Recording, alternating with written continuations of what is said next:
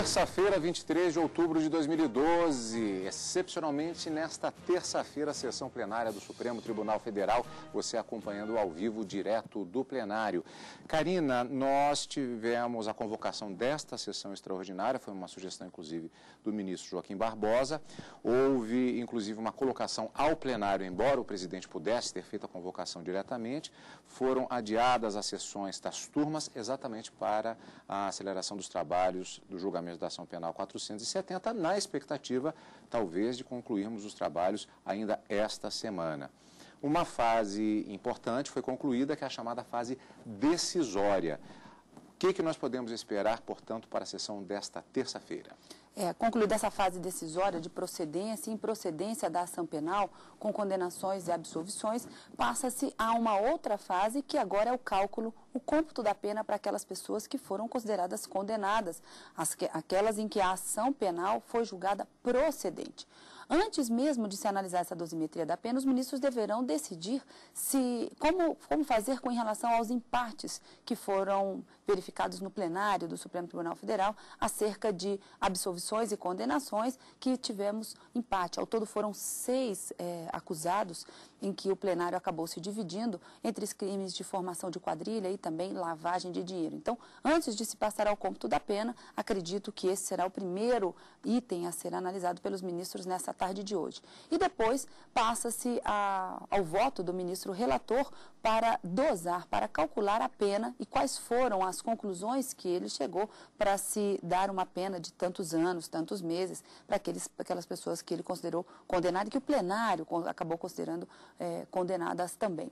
Para o cálculo da pena, leva-se em consideração, primeiro, circunstâncias pessoais do acusado. Se é antecedente, se, se tem antecedente, se é réu primário, se tem uma boa conduta, se não tem relações com atividades criminosas. Então, são circunstâncias pessoais que são analisadas. E depois passam-se a análise de agravantes, atenuantes, causas de aumento ou diminuição da pena, para se chegar ao final, ao total da pena que cada um deverá cumprir. Apenas lembrando que aqueles casos em que uma condenação sobrevier superior a oito anos por um crime, o regime de cumprimento da pena será inicialmente fechado, antes de oito anos poderá ser o semiaberto. Então, a grande expectativa é de que haja o voto do ministro relator, talvez aqui eu, eu faço uma uma mera especulação, vamos dizer assim, uh, siga-se nesse sentido a, a, a, forma de, vamos dizer assim, de acusação da, do Ministério Público acerca dos acusados, sem ser nos tópicos pelos quais é, foi analisada essa primeira fase decisória.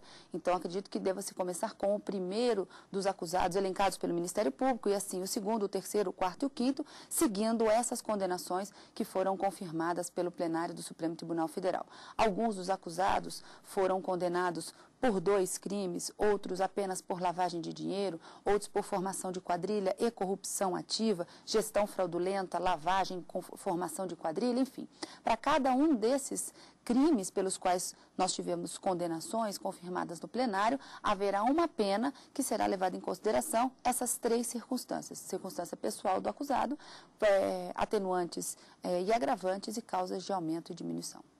Daqui a pouco eu gostaria de fazer outras perguntas também para falar, passarmos para os nossos telespectadores a respeito desta fase que é crucial porque complexa, inclusive, na medida que todas estas questões têm que ser levadas em consideração. Mas primeiro vamos rever na reportagem, já que temos esta sessão plenária de hoje, em que os ministros do Supremo Tribunal Federal deverão dar continuidade ao julgamento da ação penal 470, sendo que concluíram nesta segunda-feira o último capítulo, o item 2 da denúncia da Procuradoria-Geral da República, tratando do crime de formação de quadrilha. As ministras Rosa Weber e Carmen Lúcia e o ministro Dias Toffoli acompanharam na íntegra o voto do revisor da ação, ministro Ricardo Lewandowski. Eles absolveram os 13 acusados pelo crime de formação de quadrilha. Não me parece que tenha havido a a, neste caso, a comprovação pelo Ministério Público de que houve a constituição de uma associação com fins a durar sem determinação, com a específica finalidade de prática de crimes. Os chamados núcleos político, financeiro e operacional envolvidos nesta ação penal jamais imaginaram formar uma associação para delinquir uma societa céleres com o objetivo de sobreviverem, usufruírem ou, ou se locupletarem com o produto de dos crimes resultantes de sua atuação e que foram reconhecidos por esse plenário. Vou me limitar a pedir vênia ao relator para acompanhar a divergência, julgando improcedente a ação penal quanto a este item, com base no 3863. O ministro Marco Aurélio acompanhou em parte o voto do relator. Ele divergiu apenas quanto à condenação de Geisa Dias e à absolvição de Vinícius Samarani, e ainda destacou no voto dele: houve a formação de uma quadrilha das mais complexas,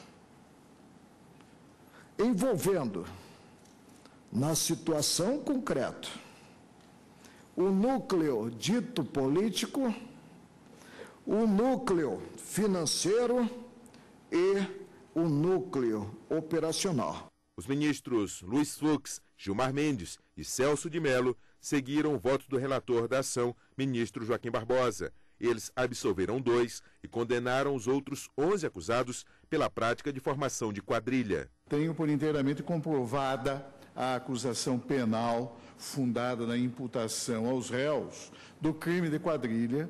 Nunca presenciei caso em que o delito de quadrilha se apresentasse, a meu juízo, tão nitidamente caracterizado em todos os seus elementos constitutivos, como sucede no processo, ora, em julgamento. A prova dos autos revela a utilização do aparelho de Estado com desvirtuamento de suas finalidades e sobreposição de interesses privados. Não tenho dúvida de que a gravidade dos fatos, sua complexidade e dimensão, inequivocamente atentam contra a paz pública na sua concepção político-social. Eu não tenho a menor dúvida jurídica de entender que o Ministério Público teve êxito em demonstrar a saciedade a existência dessa complexa quadrilha voltada para a prática dos crimes que foram reconhecidos pelo plenário do Supremo Tribunal Federal. O último a votar foi o presidente do STF, ministro Aires Brito. Chego à mesma conclusão a que chegou o ministro Joaquim Barbosa. O juízo de imputação que fez Vossa Excelência coincide com o meu, inclusive no que toca à absolvição de Ayana Tenório e de Geisa Dias. Nós vamos para um rápido intervalo e daqui a pouco voltamos com mais detalhes a respeito da expectativa que existe em torno desta sessão. E se tivermos tempo, pois os ministros a qualquer momento podem entrar no plenário do Supremo, ainda vamos conferir o fato de que nós estamos em semana de sessão do Conselho Nacional de Justiça. Logo depois do intervalo, e lembrando que ainda hoje a sessão plenária ao vivo direto do plenário.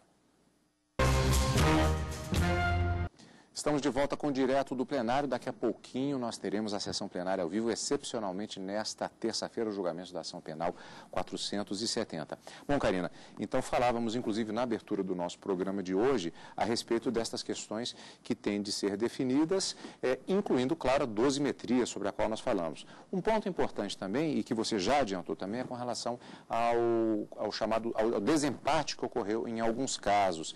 E há uma complexidade também com relação a isso, na medida medida que são crimes diferentes em relação a esses empates. A maioria deles, mas não na totalidade, é em relação, aliás, é, é bastante dividido, na verdade, tanto lavagem de dinheiro como formação de quadrilha.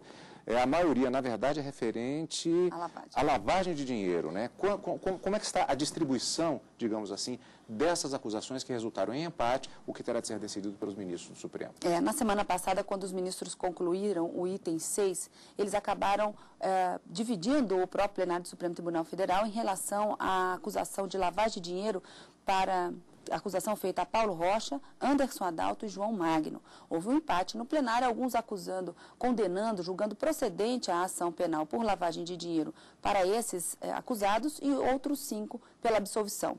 E também José Borba, numa outra circunstância em que se analisou também a lavagem de dinheiro, os ministros, a decisão do plenário acabou resultando no empate de 5 a 5 pela condenação e pela absolvição.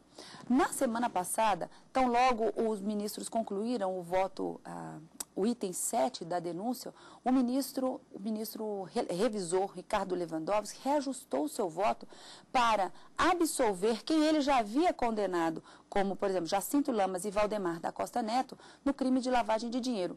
Com esse reajuste do voto, com essa evolução do voto do ministro revisor Ricardo Lewandowski, nós tivemos também, nesses dois casos, a, a, um empate, na verdade, não em lavagem de dinheiro, perdão, Jacinto Lamas e Valdemar da Costa Neto, a acusação era em relação à formação de quadrilha.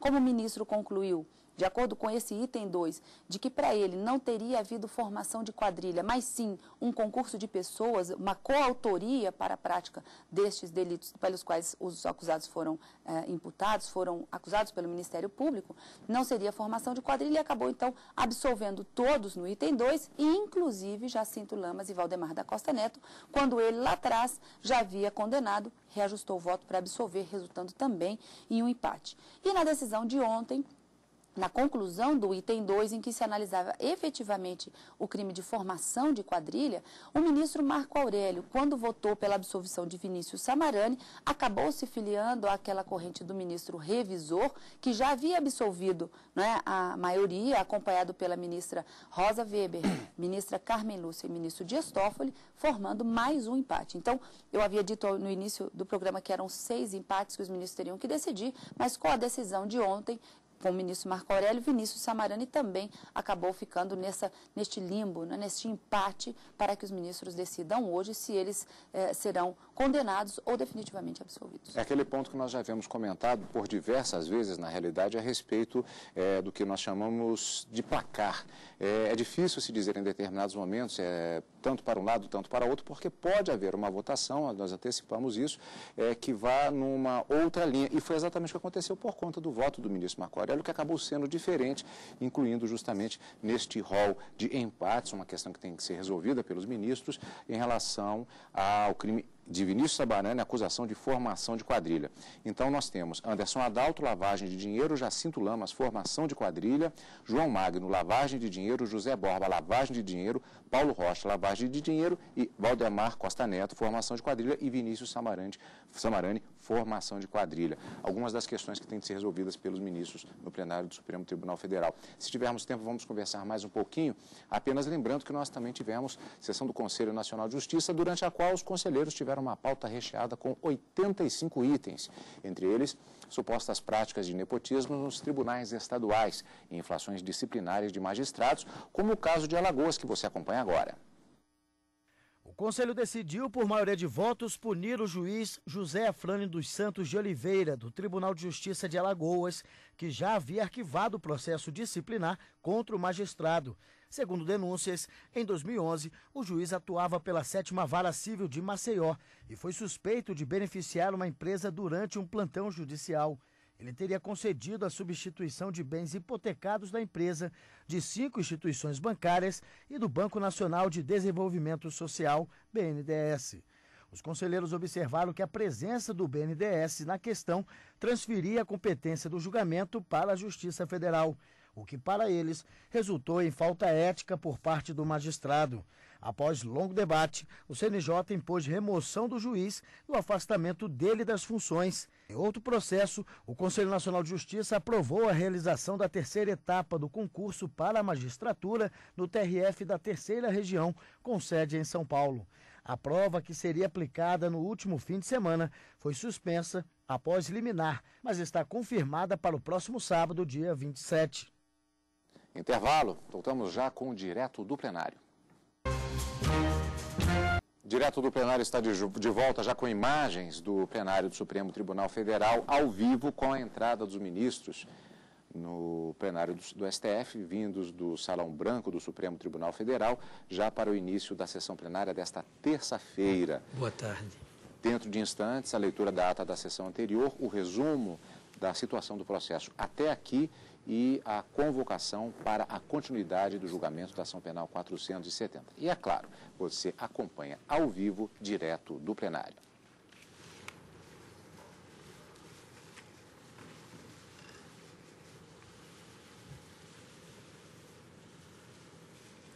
Por favor, sentemos-nos.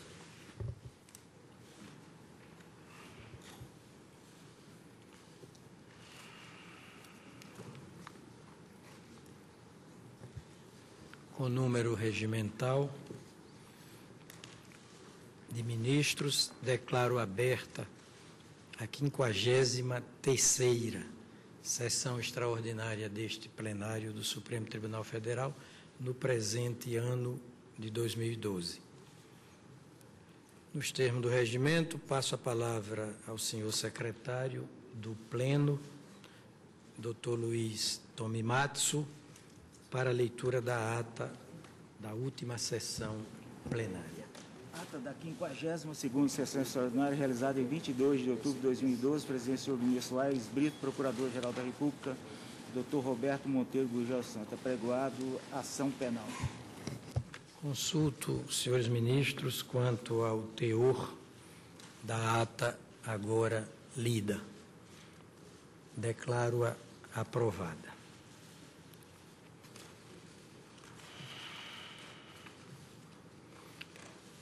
Senhores ministros, em regime de continuidade de julgamento, apregou a ação penal 470 que procede do Estado de Minas Gerais. Relatou o senhor ministro Joaquim Barbosa, revisou o senhor ministro Ricardo Lewandowski, autor é o Ministério Público Federal e réus 38 pessoas naturais, pessoas físicas, já sobejamente conhecidas pelos respectivos nomes. Faço o retrospecto da última decisão. Decisão. Prosseguindo no julgamento quanto ao item segundo da denúncia, o tribunal, por maioria, julgou procedente a ação para condenar pelo delito de formação de quadrilha, artigo 288 do Código Penal, os réus José Disseu de Oliveira e Silva, Delúbio Soares de Castro, José Genuíno Neto, Ramon Rollerbach Cardoso, Cristiano de Melo Paz, Rogério Lanza Tolentino, Simone Reis Lobo de Vasconcelos, José Roberto Salgado, Cátia Rabelo e Marcos Valério Fernandes de Souza.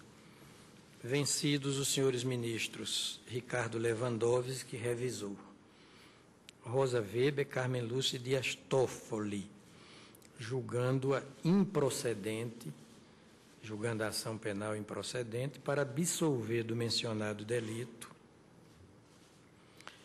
por unanimidade, a ré Ayana Tenório Torres de Jesus, por unanimidade, e por maioria, a ré Geisa Dias dos Santos vencido Sua Excelência o ministro Marco Aurélio.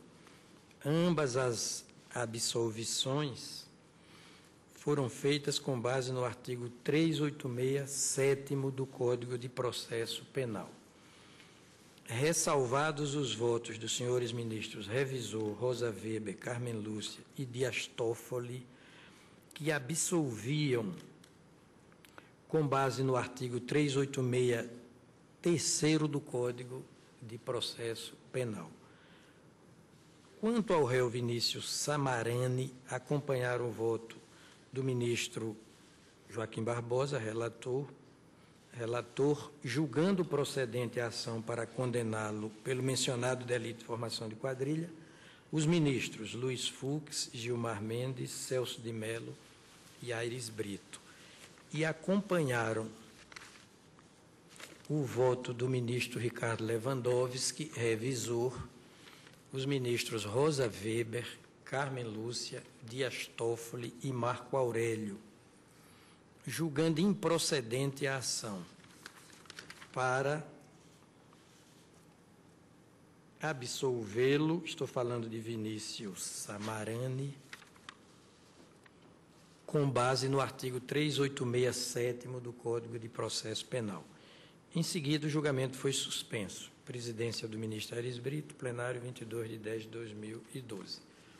Agora, em continuidade de julgamento, alcançamos a fase da dosimetria e o que me cabe é passar a palavra pela ordem a Sua Excelência o Ministro Relator Joaquim Barbosa. Entretanto, a título de questão de ordem, eu gostaria de encaminhar né, à votação ou entendimento de que, em caso de empate, prevalece a tese da absolvição do réu. Seja porque a absolvição, em caso de empate, exprime ou, ou se revela como projeção do princípio constitucional da presunção de não culpabilidade, seja porque o conceito do plenário e do próprio tribunal como unidade decisória, o acórdão é do colegiado, o conceito dessa unidade seja estaticamente considerada na Constituição, nas leis, inclusive a lei orgânica da magistratura, no regimento, né? seja porque estaticamente considerado o tribunal é uno, seja porque dinamicamente considerado, ou seja, em pleno exercício da jurisdição, o tribunal também há de permanecer uno, porque o acórdão é dele. E o fato é que, diante do empate, o tribunal se vê dividido e não na posse da sua inteireza, da sua unidade. Unidade que somente se obtém pelo, pela aplicação do princípio constitucional da majoritariedade, ou princípio constitucional da maioria dos votos. Portanto, eu resolvo a questão de ordem no sentido de que, em caso de empate, a proclamação do resultado é pela absolvição do réu. Presidente. É. Então, e, e Vossa Excelência tem, nesse caso, o apoio não só da lei, mas também da própria Constituição.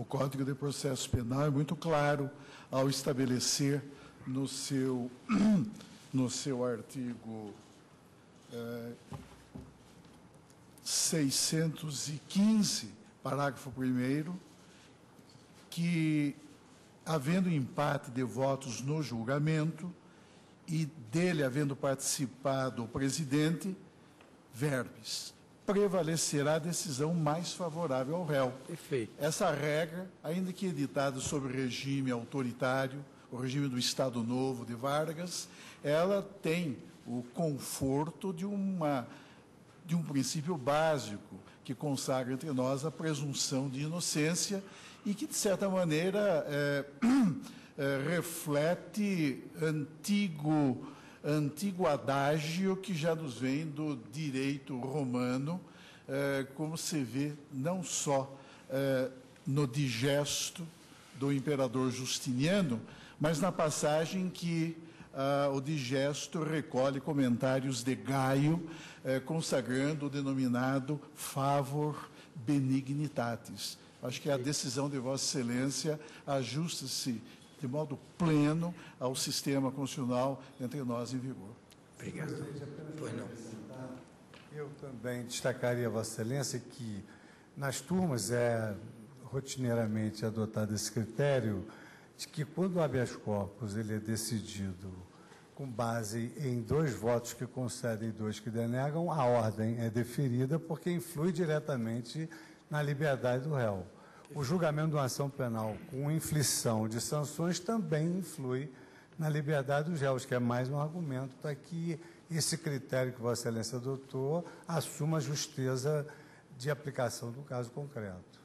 Obrigado, Vossa Excelência. Ministro Joaquim Barbosa gostaria de externar minha concordância com, com esse critério, mas, ao mesmo tempo, gostaria de alertar que essa minha concordância se dá unicamente nessa, nessa situação anômala, anômala em que vivemos. Nós estamos sem um membro, Perfeito. não é? Temos dez membros, não acredito número que par. Esta, que essa proposta se estenda a situações de empate momentâneo, não é?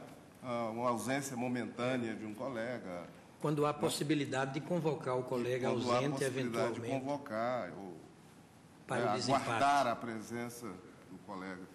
É, sobre esse aspecto, o próprio regimento interno já nos dá uma resposta. Mas como isso não é viável no momento, uma vez que há uma vacância, então aplicamos, por analogia, a regra prevista no artigo 615 do parágrafo 1 que se refere ao procedimento recursal das É, apelações se refere a criminais e dos recursos em sentido É, estrito. recursos. Mas, de qualquer maneira, o princípio nuclear, que é básico, o princípio indúbio constitucional. pro réu, e que encontra apoio no próprio texto da Da Constituição. Constituição. Perfeito. Ministro Joaquim Barbosa, Vossa Excelência tem a palavra. Sim, senhor presidente. Antes de passar, antes de passar, eu vou suscitar. Eu, Eu vou suscitar. resolvi a questão de ordem e pensei que já houvesse uma unanimidade, mas ouço Vossa Excelência. É. Com muito prazer. O ministro, o ministro Marco Aurélio. Ministro Marco Aurélio, quer suscitar a que- a que- a questão de ordem? Não, não estou suscitando. Foi colocada a questão Sim, de ordem foi, né, e não cheguei a me Não, a pronunciar. primeira já foi resolvida. pelo- Não, eu Não, mas penso o que ministro, não. o Ah, não, ministro, ministro Marco Aurélio não concorda. ouço Vossa Excelência com o maior prazer. Presidente, em primeiro lugar, digo que a dissidência é própria aos colegiados. Que o colegiado é, acima de tudo, um somatório de forças distintas.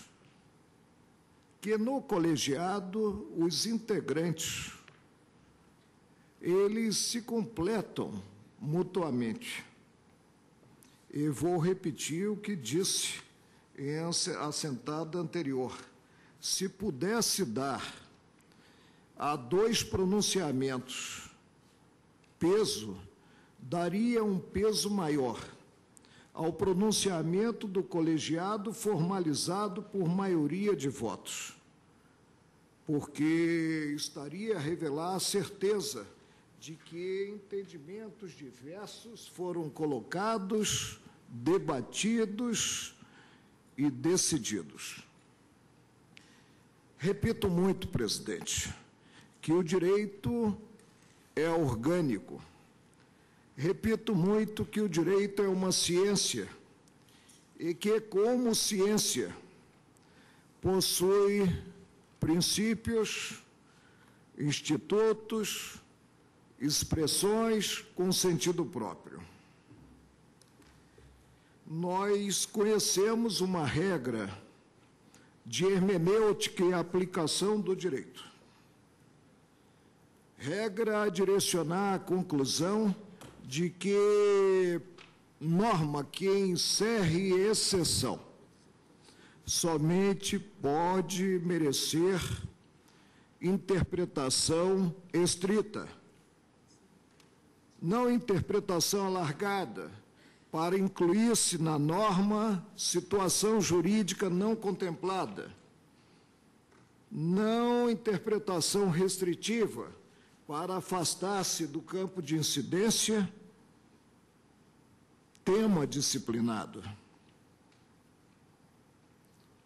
Nós, a certa altura, nos deparamos com a problemática, e não foi por se encontrar cadeira ou cadeiras vazias, de ter-se o empate. E aí o tribunal resolveu, já que três ministros estavam impedidos de atuar no caso concreto, que confesso, não versava tema penal, o tribunal resolveu convocar para o desempate integrantes do Superior Tribunal de Justiça. Refiro-me ao mandado de segurança do ex-presidente Fernando Collor, em que se debatia se inexistente o principal, sobejaria o acessório. Se inexistente o impeachment, ante a renúncia, se poderia cogitar da inelegibilidade. Nós estamos a julgar uma ação, uma ação inconfundível, com ação de envergadura maior, porque voltada à preservação da liberdade de ir e vir, que é o habeas corpus. Não estamos a atuar no campo da revisão, nos defrontando, por exemplo, não vou cogitar do recurso em sentido estrito, com o recurso por excelência, que é o recurso de apelação. Reclama a situação concreta, jurisdição. Reclama a situação concreta, o acolhimento ou não acolhimento do pedido formulado na peça primeira da ação penal, que é a denúncia. O tribunal fez inserir no regimento interno, e não acredito que o regimento interno, no particular, esteja a merecer revogação, um preceito. Um preceito que decorreu do fato de não se poder transportar para outras situações a regência do Código de Processo Penal, alusiva ao habeas corpus e alusiva aos recursos, para, segundo capítulo do Código, do Tribunal, para o Tribunal de Apelação. E aí, tivemos a inserção no artigo 13 de um preceito linear para resolver esses impasses decorrentes da divisão maior do tribunal.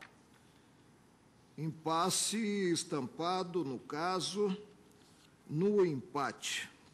O que preceitua o artigo 13? Preceitua Vou repetir também o que eu gosto muito de sinalizar, em bom vernáculo, que compete ao presidente proferir voto de qualidade nas decisões do plenário, para as quais o regimento interno não preveja, como é a situação concreta. Solução diversa quando o empate na votação decorra de ausência de ministro em virtude de impedimento ou suspeição. E aí vem a situação concreta, porque se estivéssemos com 11, teríamos a impossibilidade, a Cassiana, do empate. Vaga, vaga, é o caso concreto, específico, portanto, ou licença médica superior a 30 dias, quando seja urgente a matéria e não se possa convocar o ministro licenciado. A situação concreta, repito, é de vaga. Admito que Vossa Excelência, porque não versa o regimento interno sobre a prevalência da corrente aqui integrado, possa nesse voto de qualidade até mesmo, sem adentrar o campo da incongruência, manifestar-se presente o princípio, na dúvida, decide-se a favor do acusado, manifestar-se no sentido da absolvição. Mas o sistema não fecha. Consideradas, repito, as regras de hermenêuticas e aplicação do direito, se simplesmente transportarmos para a definição do julgamento de uma ação penal originária, regência que está ligada ao habeas corpus e aos recursos criminais. Não atuamos, presidente, como órgão revisor, mas há mais. O que podemos dizer sobre analogia? Quando é possível ao julgador lançar mão da analogia? E aí estaríamos aplicando analogicamente a disciplina do habeas corpus e dos recursos criminais. Quando existente lacuna, indaga-se a lacuna talvez possamos cogitar da lacuna considerada a Lei 6.830, é isso? 8.630? 6.830? 8.630. a, que, que rege a ação penal originária do Supremo, 8.638, e também do Superior Tribunal de Justiça. Mas o regimento é explícito a respeito da matéria. Por isso eu peço vênia e vi que se tinha matéria como pacífica, e penso que não é tão pacífica assim, para divergir, deixando em suas mãos, abalizadas mãos, doutas mãos, a definição da absolvição ou da condenação em relação àqueles acusados em que o plenário se mostrou dividido, né? em relação àqueles acusados em que tivemos o um empate. Como voto? Bem, no caso, eu entendo que o princípio constitucional em si, da não culpabilidade, como que pré-exclui a aplicabilidade do dispositivo regimental, porque ele exige que, para a condenação, num colegiado de 11 pessoas, haja o voto convergente de seis ministros, porque aí nós teremos cumulativamente, para dar segurança à decisão, seis experiências de vida, seis reflexões, seis imperativos de consciência. E um ministro sozinho votando por dois, por duas pessoas, por dois ministros, me parece que é contraindicado. Mas eu, ouço. Eu disse, senhor presidente, quando da votação desse dispositivo regimental. E folgo em, em, em perceber, não é, as dificuldades que esse dispositivo pode trazer.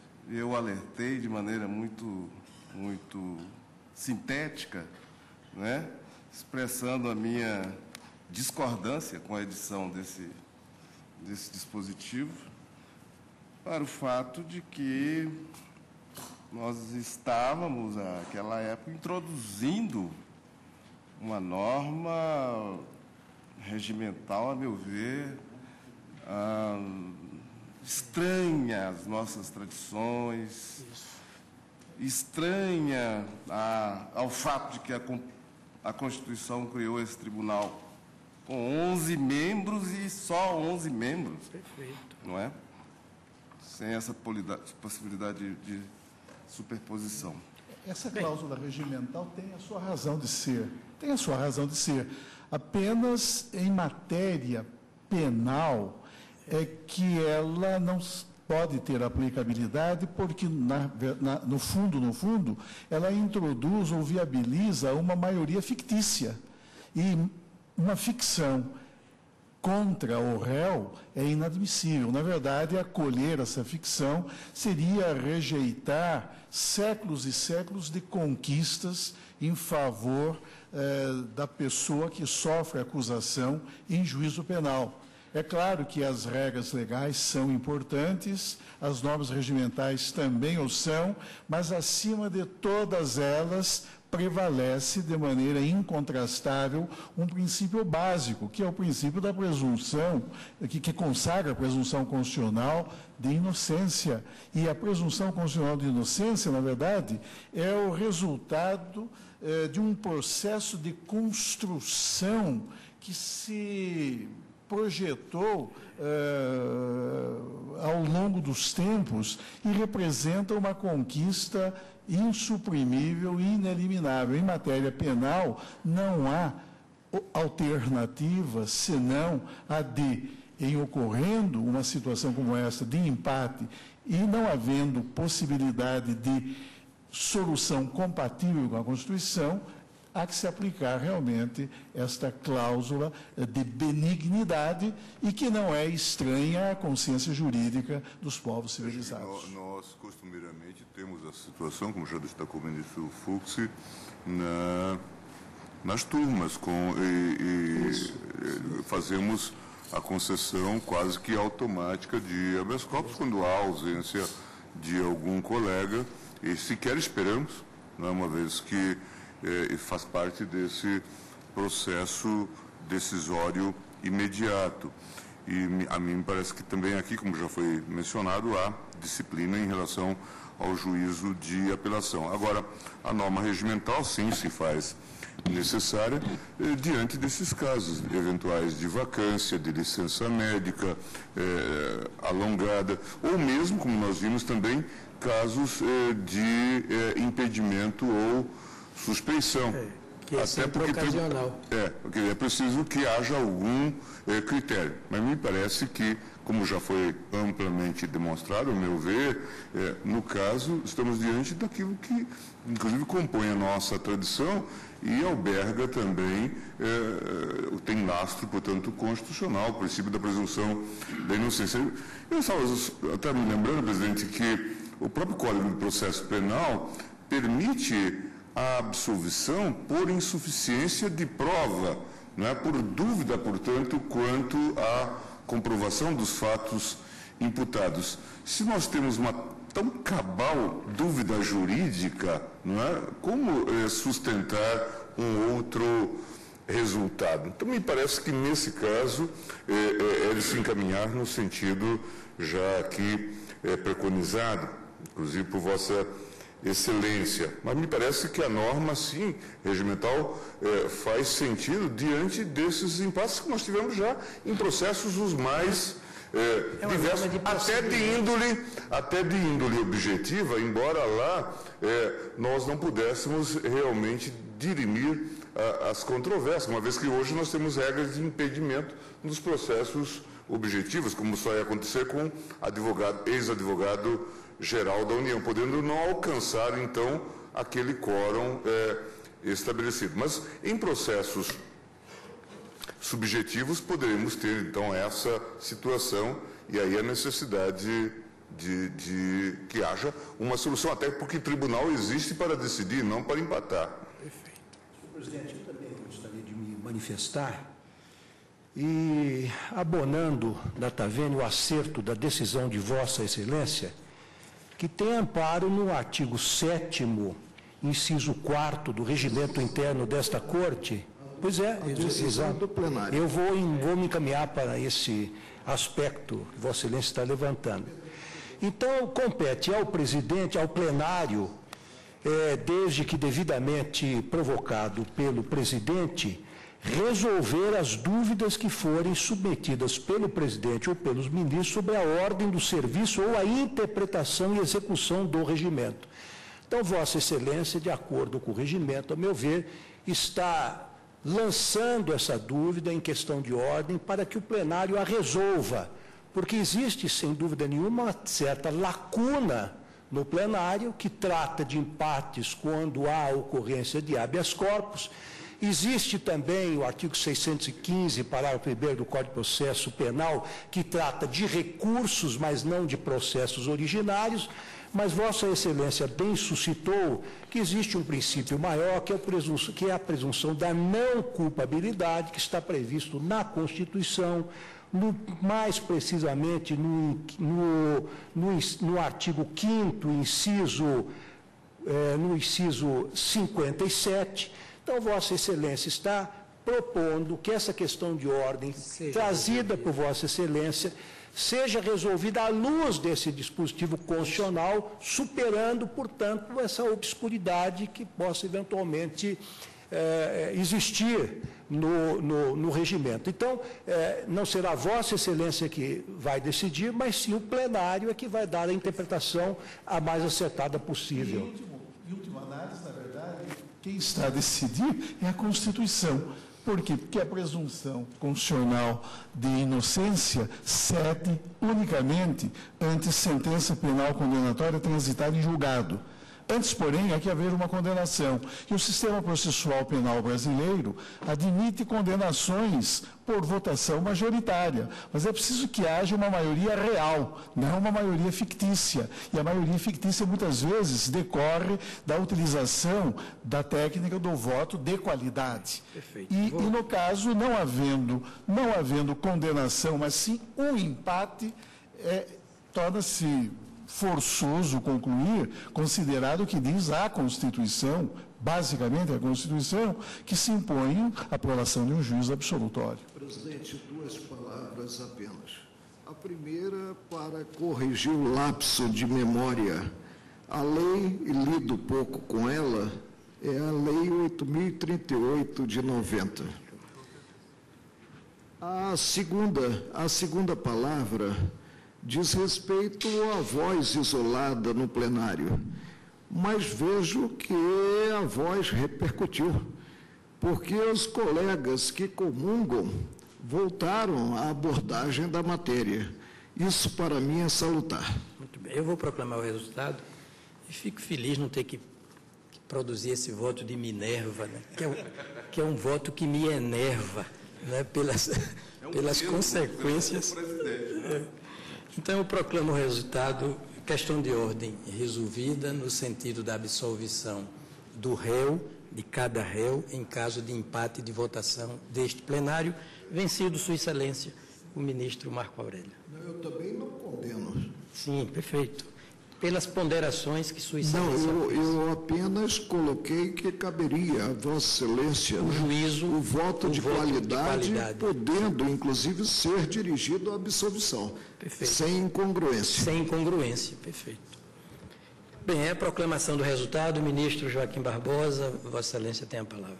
Senhor presidente, antes de começar a dosimetria, eu gostaria de encaminhar uma outra questão de ordem, que é relativa ao sistema de votação que eu vou propor com relação à dosimetria das penas. É, eu proponho o seguinte, que aqueles que ficaram vencidos na votação parcial de mérito, com base no precedente que nós firmamos aqui há cerca de dois anos, não é? Não devem participar, não podem participar da votação pertinente à dosimetria. Eu apenas faria uma pergunta: qual é a dúvida? É, eu também acho que não há dúvida. Porque, porque está o juiz e por isso mesmo, quando nós confeccionamos voto como relator, nós trazemos voto nas duas partes, compelido a adentrar a matéria de fundo se vencido na preliminar. Agora, absolvição e condenação com imposição de pena consubstanciam o mérito. E não vejo como, sob pena de aí sim termos a incongruência, alguém a um só tempo, no mesmo processo, prolatar uma decisão, formalizar um voto, declarando inocente o acusado para, em passo seguinte, apená-lo. Né? Eu fiquei vencido nessa matéria e, e acho que o assunto eh, já está eh, devidamente eh, encaminhado pelo, pelo plenário. À época, eu, eu considerei, e depois até em discussões aqui com em reflexões com o ministro Celso de Mello também é, aprofundava um pouco esse debate aqui. Na prática, nós podemos ter situações que tivemos aqui, por exemplo, de decisão é, por uma maioria de seis votos, seis a quatro, e depois então termos essas, esses seis membros do tribunal decidindo sobre a dosimetria. Podemos até chegar a uma outra situação é, dentro da configuração, que é, por exemplo, é, um 5 a 4. É, e aí termos, é, então, uma discussão é, ou a decisão da dosimetria por três votos a dois. Veja, portanto, que nós nos afastamos é, muito do critério de maioria que se adota para o plenário. Mas eu me lembro do debate que foi muito enfático naquele caso do deputado José Gerardo, salvo engano, não é? E, e que a maioria é, afirmou essa orientação. Creio que subscrevi o voto vencido juntamente com o ministro Toffoli. É, eu gostaria de registrar a minha posição também, no sentido de manter o posicionamento, já que estamos no colegiado. No colegiado, podemos sempre reiterar o nosso posicionamento. Eu reitero o posicionamento que eu tive há dois anos, no sentido de, mesmo tendo absolvido, participar da dosimetria. É muito comum ficar vencido, por exemplo, num conhecimento da ação e depois vencido participar da análise da ação. Vencido em uma preliminar, enfrentar o mérito. Ora, o tribunal debateu inicialmente se havia ou não a prática do tipo penal e, os e as elementares do tipo no, dentro do que estava narrado na denúncia e do que foi a instrução do processo. Vencido nessa parte, eu não vejo razões para aquele que absolveu não participar da, da dosimetria. Nós não estamos aqui na decisão monocrática ou na decisão de um juiz de uma vara criminal em que ele sim traz a sentença por inteiro. Nós estamos aqui em um colegiado.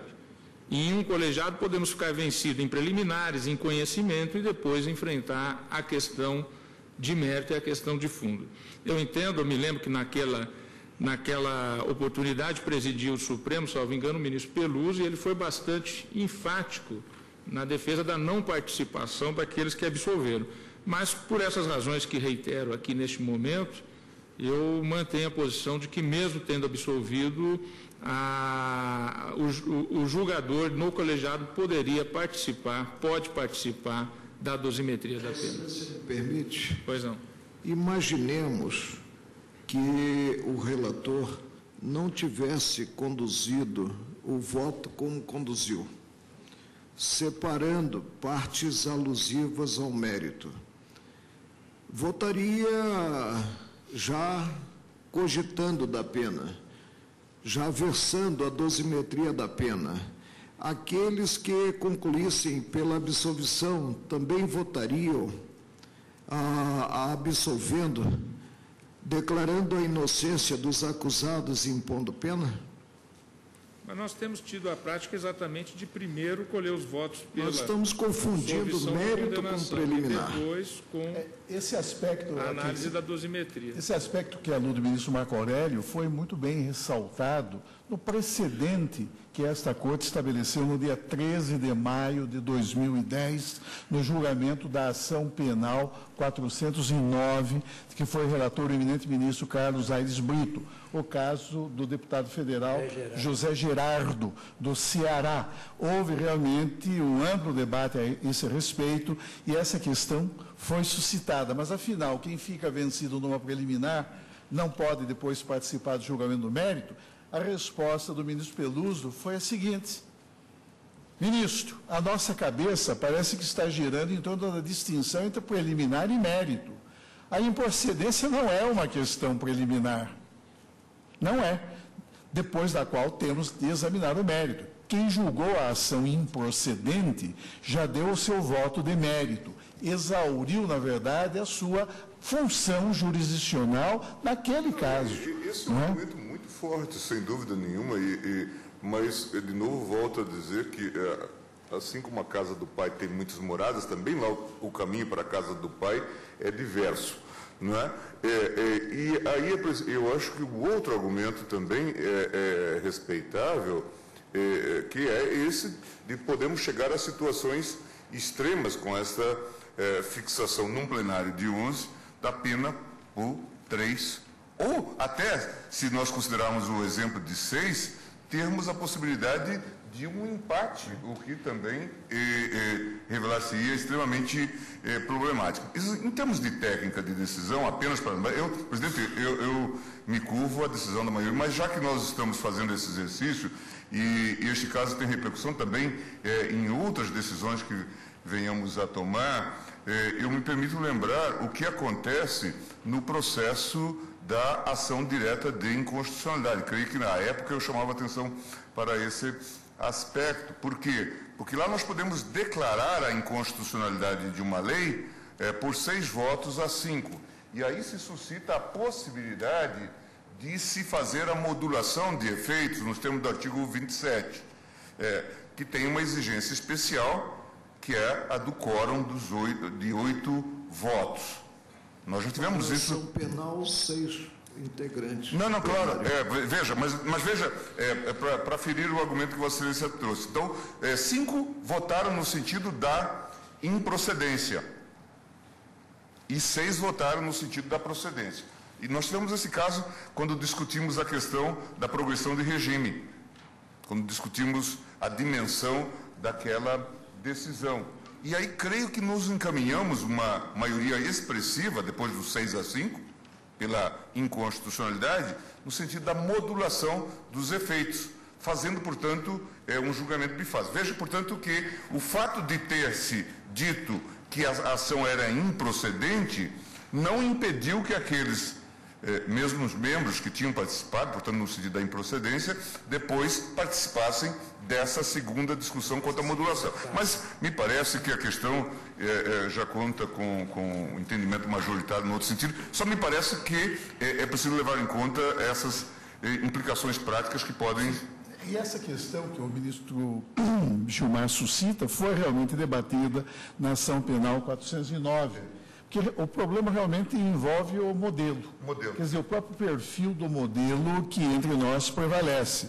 Porque haverá situações em que, julgando-se o fundo da controvérsia penal, o ministro desta corte julgue improcedente a ação penal por não vislumbrar sequer tipicidade na conduta fazendo incidir o inciso, se não me engano, terceiro, terceiro. Não é? do, do, do, do, artigo 386 do, artigo 386 do Código de Processo Penal. Então, ele ficaria, enfim, enfrentaria seguinte, a seguinte situação. Ele teria absolvido o réu por entender destituída de tipicidade a sua conduta e, em seguida, iria condená-lo procedendo a, aliás, iria, em seguida, não condenado, iria proceder à dosimetria da pena quando na verdade o, é, é, mais radical o fundamento do seu juízo absolutório. Não é apenas a insuficiência do conjunto probatório, mas simplesmente a ausência de tipicidade. Agora, um ponto importante, senhor presidente, é que há, há mais de dois anos, há quase dois anos e meio, esse precedente foi firmado pelo plenário dessa Suprema Corte após longo debate. Como já aludi, dava-se do, do, do, da ação penal 409, de que Vossa Excelência foi relator, e em que prevaleceu o entendimento de que quem fica vencido votando pela absolvição não participa da dosimetria penal. Essa foi a tese que prevaleceu em outro caso, julgado há dois anos e meio atrás. Posteriormente, eh, na ação penal 503, de que eu próprio fui relator, uh, o caso Taniguchi, essa, essa ação penal foi julgada uma semana após, no dia 20 de maio de 2010. Naquele caso, o eminente ministro Marco Aurélio ficou vencido quanto a uma das condenações, em relação a um dos delitos. Pois bem, Sua Excelência não participou da dosimetria da pena. Quem absolve não impõe pena. E creio que não pretendi participar. Não. Vossa Excelência foi muito claro afirmando, aspas, quem absolve não impõe pena. Depois desse julgamento, na ação penal 481, de que foi relator o eminente ministro Dias Toffoli, caso que foi julgado no dia 8 de setembro de 2011, de novo prevaleceu a tese segundo a qual quem absolve não impõe pena. E, no caso, havia um, um, voto absolutório também do eminente ministro Marco Aurélio, e Sua Excelência, de maneira absolutamente coerente, é, é, é, reafirmou a posição que este colégio judiciário já havia sentado há dois anos e meio atrás, no dia 10 de maio de 2010. E também na ação penal, ah, na ação penal, deixe-me ver qual delas aqui, sim, 441 também da relatoria do eminente ministro Dias Toffoli, julgado em 8 de março deste ano, de 2012, o ministro César Peluso ficou vencido quanto à condenação. E, e, e emerge dos, dos debates que Sua Excelência não teria participado da dosimetria penal. Portanto, este é um critério que vem prevalecendo na jurisprudência da Corte há pelo menos dois anos e meio, desde 13 de maio de 2010, no julgamento da ação penal 409, critério que tem sido reafirmado uma, duas, três ou quatro vezes em outras ações penais originárias que precederam esse julgamento. Acho que é importante deixar claro esse ponto. Ministro, Muito bem. Pois não, Excelência. Vossa Excelência está vendo, porque, entre outros motivos, Vossa Excelência não pode nos deixar precocemente. Eu endosso totalmente a observação de Vossa Excelência. Ministra Rosa Weber, diante da discussão, eu vou colher os votos por modo individualizado e digo, né, para orientar a votação, que Sua Excelência o ministro Joaquim Barbosa, que levantou a questão de ordem, resolve essa questão de ordem por ele levantada, no sentido de, de, da não participação na fase da dosimetria do ministro não é, que votou pelo juízo de imputação, que votou pela absolvição do réu. Vale dizer, prevalece aquela frase que é bastante expressiva do ministro Marco Aurélio.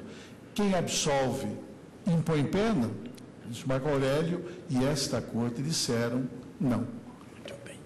Vossa Excelência resolve a questão de ordem no mesmo sentido? Sim, senhor presidente, tenho essa mesma compreensão, acompanho o eminente relator, entendo que quem absolve não pode impor pena e, consequentemente, enfrentando o mérito eh, da demanda, não volte a sobre ele se pronunciar num sentido diverso, enquanto impondo uma pena. Eh, embora reconheça eh, a oportunidade da discussão que se trava, em especial pelo fundamento que me impressiona do eminente ministro Gilmar, da possibilidade de, na dosimetria, numa votação de seis a quatro, ocorrer só seis, os seis que impuseram a condenação votando, eventualmente até ocorrer um empate. Mas eu acompanho o eminente relator. É, ministro Luiz Fux. Ministro Dias Toffoli. Senhor presidente, recolocada a questão, eu mantenho a minha posição que já havia exarado quando do julgamento da ação penal 409. Vossa Excelência abre a divergência. Peço vênia para divergir. Ministra Carmen Lúcia. Eu peço vênia divergência, presidente, para acompanhar o relator, principalmente me baseando no princípio constitucional da não culpabilidade penal, que neste caso, na dúvida, procederia em favor do réu. Muito bem. Então, Vossa Excelência acompanha o relator. Acompanha o relator. O ministro Ricardo Lewandowski. Senhor presidente, eu acompanho o relator porque já manifestei essa mesma opinião quando do julgamento da ação penal 409 do Ceará. Eu fui muito enfático ao dizer que quem absolve não pode depois é, elaborar uma dosimetria, até porque esgotou o mérito da questão, esgotou a jurisdição. E acrescento, senhor presidente, se alguém vota pela absolvição, em especial, especialmente eh, tendo em conta, talvez, a atipicidade da conduta, eh, seria uma verdadeira violência à consciência do magistrado querer lhe impor o sopesamento das circunstâncias judiciais do artigo 59 se o juiz acha que não houve crime, como é que ele vai se pronunciar sobre os antecedentes, a conduta social, a personalidade do agente, os motivos, as circunstâncias, as consequências do crime, bem como o comportamento da vítima, e para depois estabelecer uma pena necessária e suficiente à reprovação e prevenção do crime? Como é que o magistrado que absolveu pode depois se pronunciar numa segunda fase sobre as agravantes e atenuantes e depois, na fase derradeira, sobre as causas de aumento ou diminuição? É até uma contradição lógica, é uma contradição in terminis, além de ser, a meu ver, um um gravame para a própria consciência do magistrado, que deve ser sempre a mais livre possível. Portanto, eu reitero o pronunciamento que já externei na ação penal 409 para é, acompanhar o relator, no sentido de dizer que o magistrado que se pronuncia pela absolvição não participa da dosimetria. Como vota o ministro Gilmar Mendes? Vossa Excelência não tivesse escolhido voto, eu iria aplaudir a solução de, é, da questão de ordem encaminhada por Vossa Excelência. Mas já que Vossa Excelência coloca, eu vou voltar a, a, a, assumir a posição que eu havia assumido anteriormente, consciente de que o plenário já se encaminhou no outro sentido, uma vez que aqui, a, a meu ver, é uma questão é, de lógica, mas também uma questão é, de técnica e a possibilidade, inclusive, de impasses, como eu formulei, né, é, é, em questões cruciais, e aí me parece que é, a participação de todos é, dar-se-ia em benefício é, do, daquele que foi eventualmente condenado, não é? se nós pudéssemos fazê-lo de maneira bifásica. Mas vou deixar também anotado o voto vencido, porque o futuro a Deus pertence, não é? Ministro Marco Aurélio. Presidente, a polivalência não cabe na espécie. Acompanhe o relator. O relator. Ministro Celso de Mello. O eminente relator, senhor. Com o relator. Eu votei na ação penal 409 no sentido do voto de Sua Excelência o ministro César Peluso. Disse o ministro César Peluso, exatamente, quem formulou o juízo de improcedência não tem que cogitar de pena nenhuma.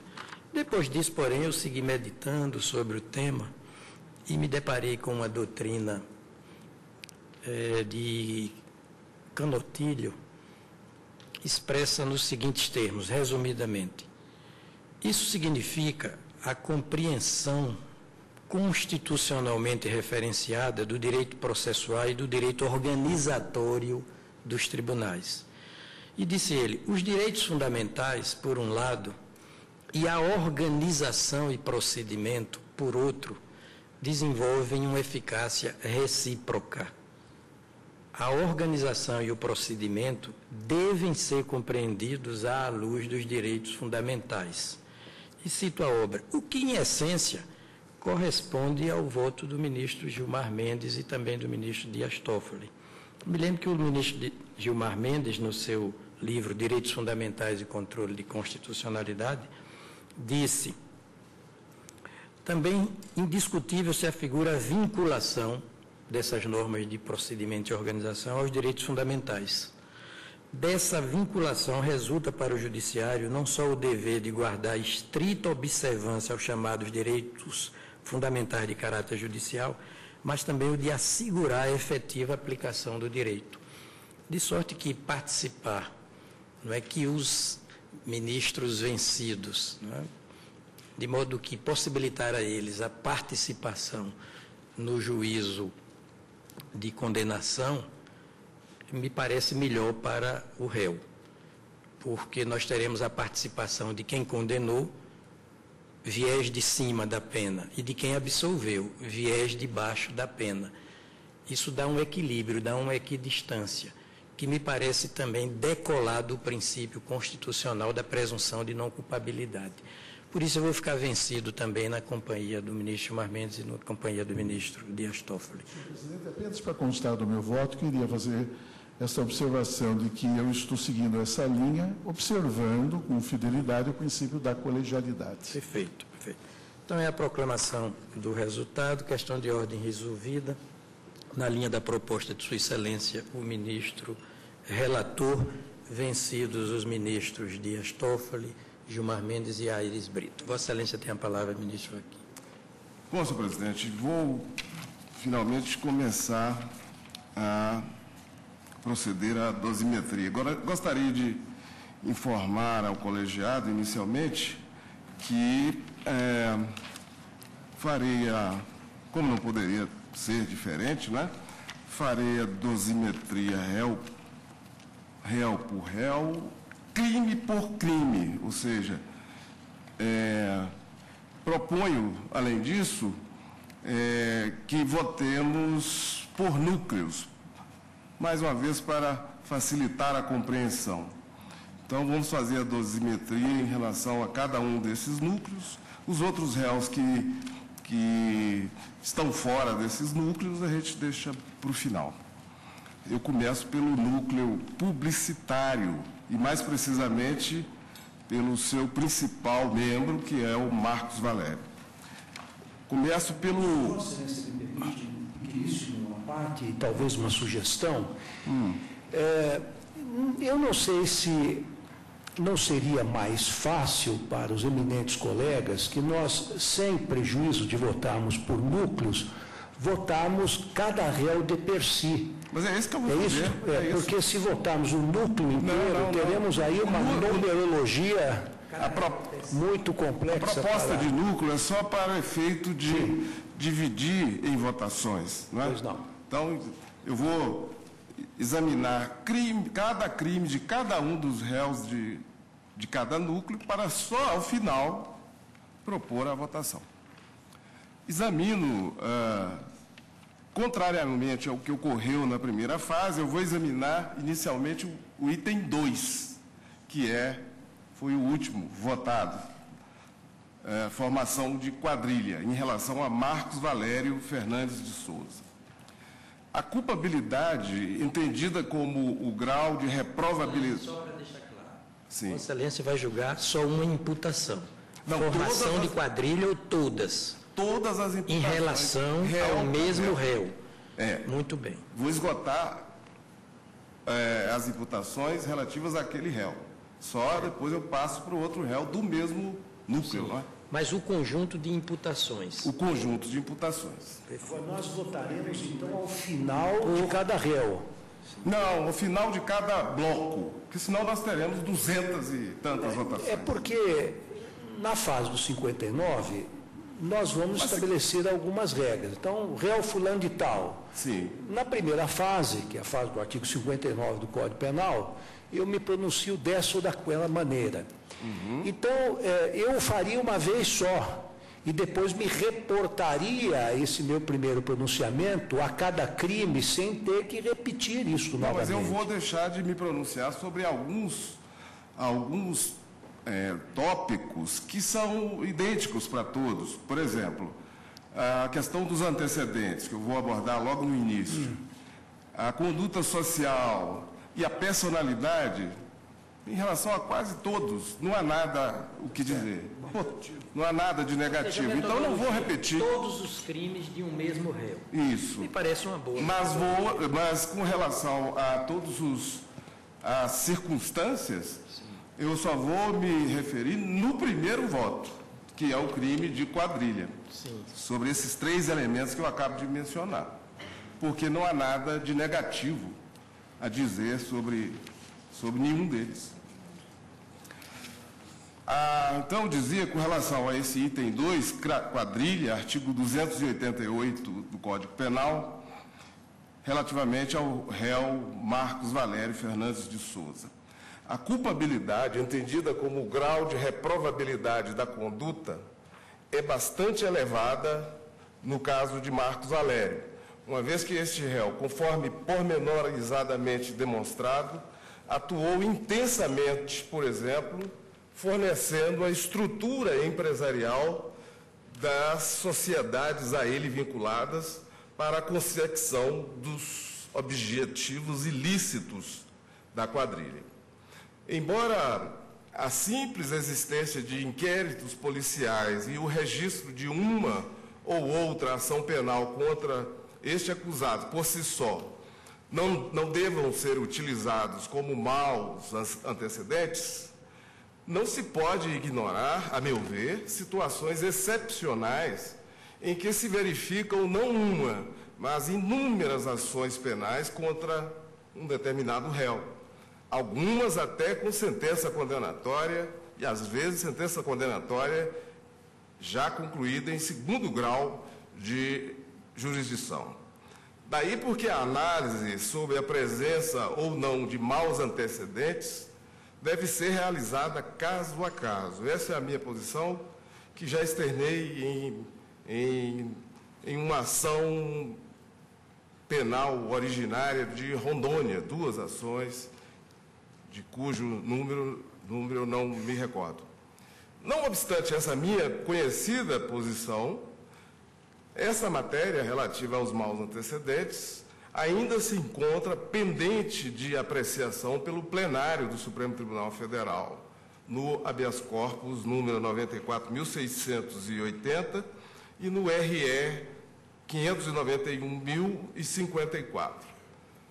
Razão pela qual, neste caso, eu considero que Marcos Valério não ostenta maus antecedentes. Portanto, Vossa Excelência entende que a existência de procedimentos penais ainda em curso de tramitação, ela só por si não caracteriza a existência de maus antecedentes. Não, é...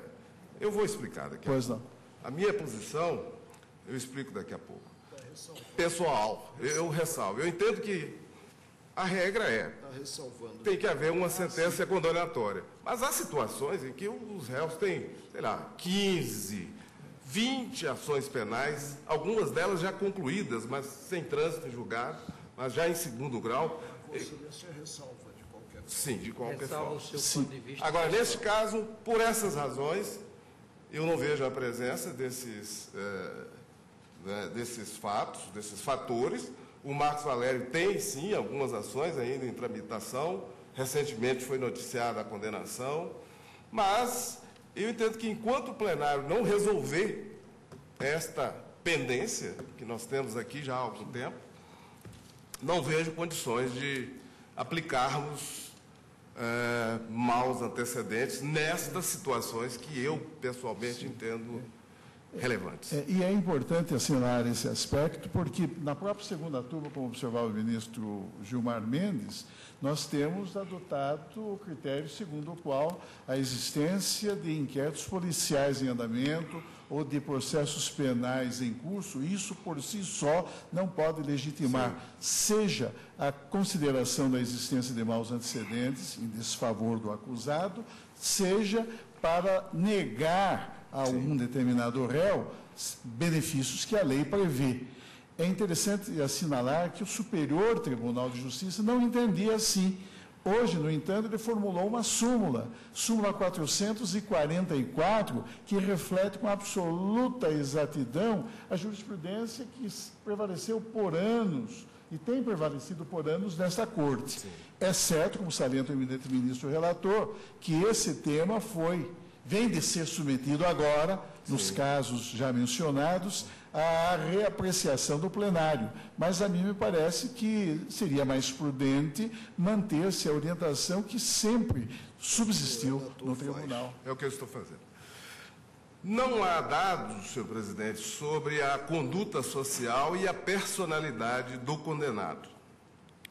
O motivo do crime, em última análise, foi o objetivo de Marcos Valério eh, de obter recursos indevidos para si e para as companhias às quais ele estava vinculado, graças à proximidade buscada e conquistada junto ao governo federal à época e aos favores ilícitos prestados, sobretudo aos integrantes do chamado núcleo político ele, Marcos Valério, se prontificou a prestar esses favores ilícitos e, como nós sabemos, utilizou para isso a estrutura das, das várias empresas das quais ele é sócio. Quanto às circunstâncias do ilícito, ressalvadas para evitar bis idem as que constituem elementares e as que já foram consideradas, também me parecem desfavoráveis a Marcos Valério, que, como visto, agendava reuniões entre José Disseu e Cátia Rabelo, viajou a Portugal em companhia de Rogério Tolentino e Emerson Palmieri para uma reunião com o presidente da Portugal Telecom, Miguel Horta e Costa, a fim de viabilizar uma possível doação para o Partido dos Trabalhadores. Ele ajudou a esposa do ex-ministro José Disseu a vender um imóvel para Rogério Tolentino, ajudou-a a obter um empréstimo junto ao Banco Rural e ainda a arranjar um emprego no Banco BMG. Por outro lado, ainda cuidando dessas circunstâncias, é, eu assinalo o fato de que a associação perdurou por mais de dois anos. Quanto às consequências do delito, se mostram, a meu ver, igualmente desfavoráveis a Marcos Valério, uma vez que, como a quadrilha alcançou um dos seus objetivos, que era a compra de apoio político de parlamentares federais, esse fato, a meu ver, colocou em risco o próprio regime democrático, a independência dos poderes e o próprio sistema republicano, que é um dos pilares do nosso regime político. Tudo isso em flagrante violação à Constituição da República. Dada a natureza do crime, não há que se falar em comportamento da vítima. Assim, atento ao disposto nos artigos 59, 68 e 288 do Código, de, do Código Penal, eu fixo a pena base de Marcos Valério em dois anos e seis meses de reclusão, mais 50 dias multa, com relação a esse crime de quadrilha, que nós sabemos vai de um, é apenado com pena de um a três anos. Vossa Excelência pode repetir? Pena base. Pena base, dois, dois anos, anos, e seis, seis meses. meses. de reclusão. De reclusão. Não chego à pena máxima. E multa? 50, uh, 250 dias multa. Considerando o fato de Marcos Valério ter desempenhado um papel proeminente na condução das atividades dos réus integrantes do chamado núcleo publicitário ou operacional, eu aumento a pena para dois anos e 11 meses de reclusão, mais 291 dias, tendo em vista a incidência da agravante prevista no artigo 62, inciso 1 do Código Penal. A falta de outras circunstâncias, bem como de causas de diminuição ou de aumento, eu torno definitiva a pena de dois anos e 11 meses de reclusão, mais 291 dias multa para Marcos Valério.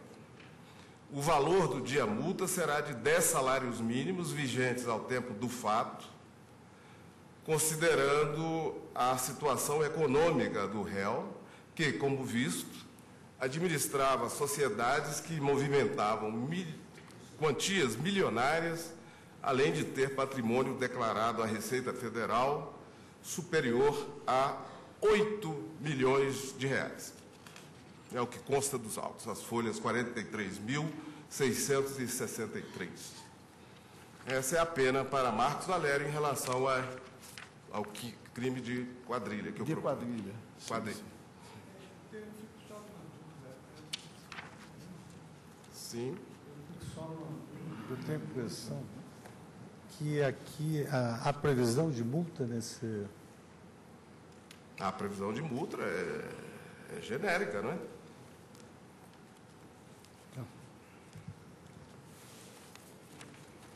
Presidente, eu, ia, eu iria sugerir a Vossa Excelência. 40, artigo 49, parágrafo 1, vamos ver o que diz aqui.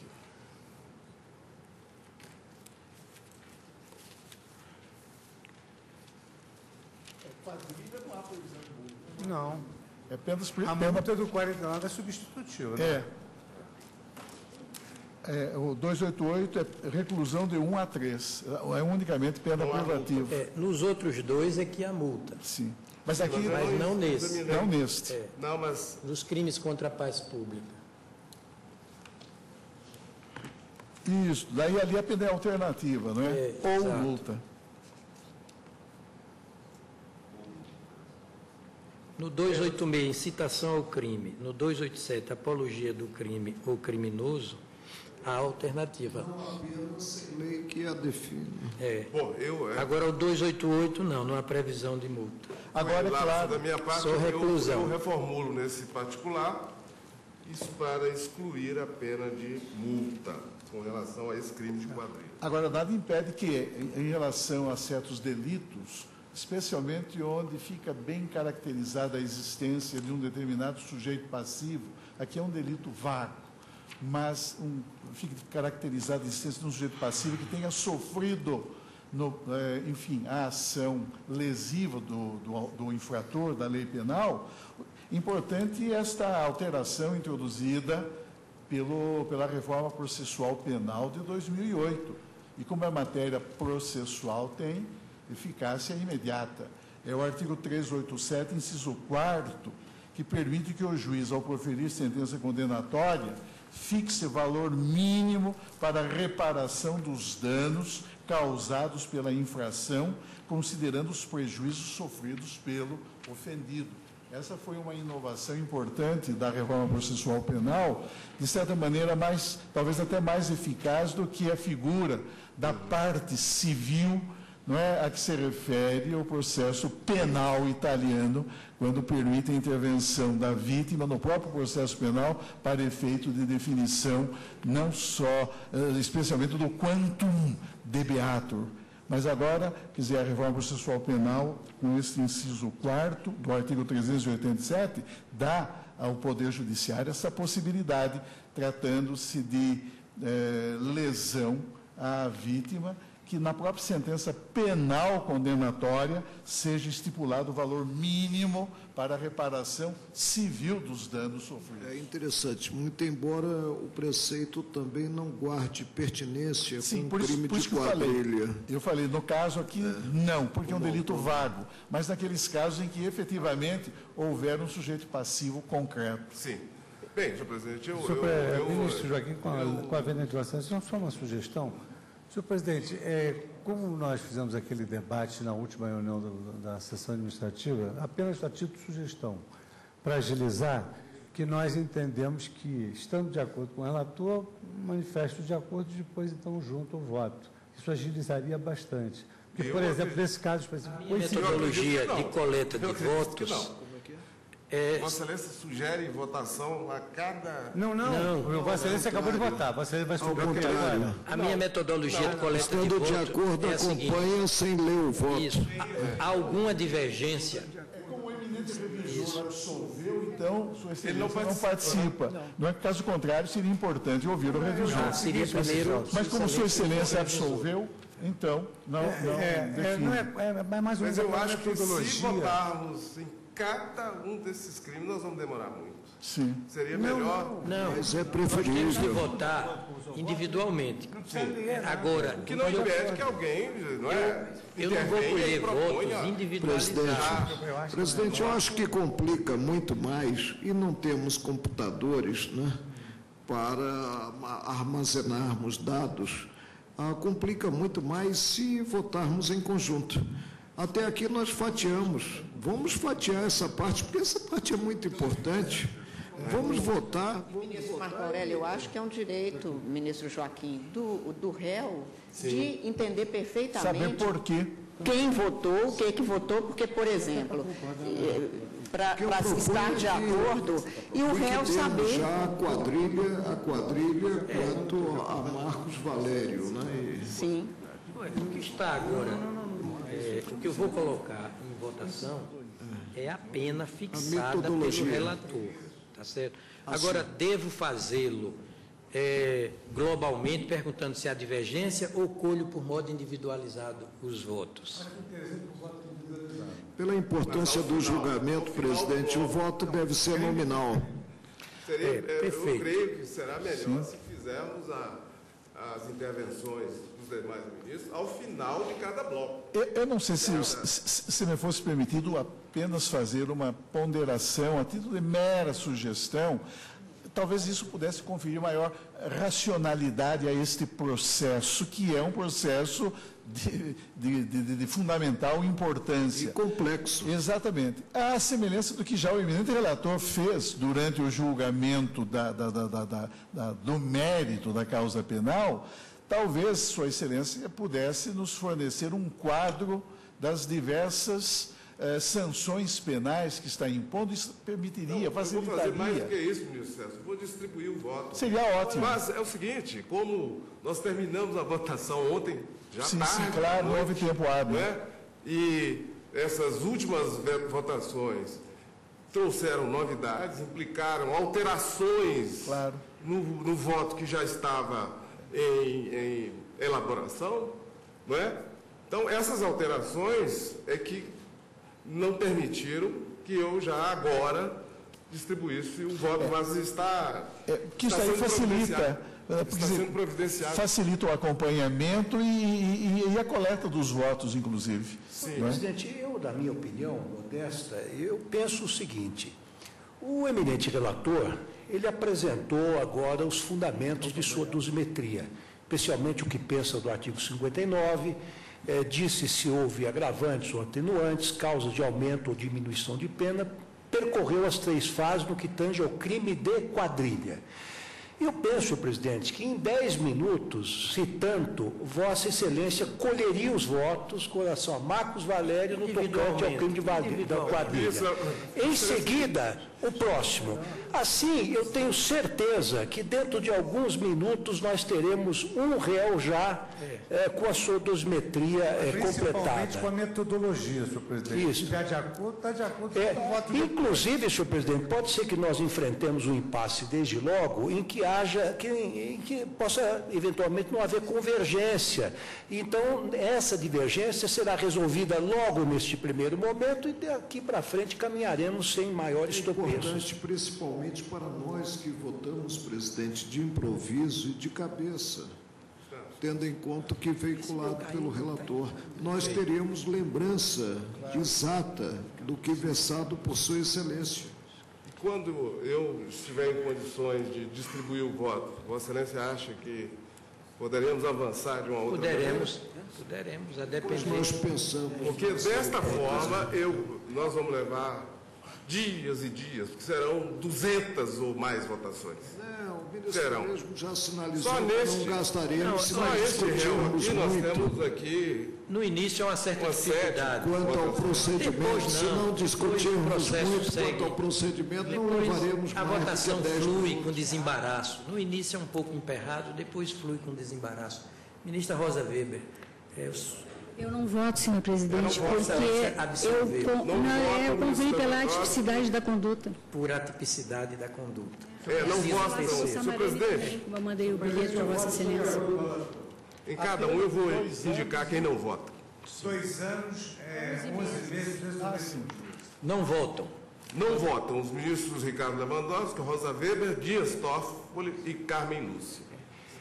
Eu me permito apenas, mas com muita humildade e respeito, estabelecer, eh, lembrar aos colegas, se é que me permitem uma expressão como essa, eh, quem adere ao, ao resultado dessa dosimetria, implicitamente está aderindo também ao, às ponderações que Sua Excelência, o relator, fez com relação ao 59, com relação aos demais, e aí, vetores, eh, os aí da haverá 59.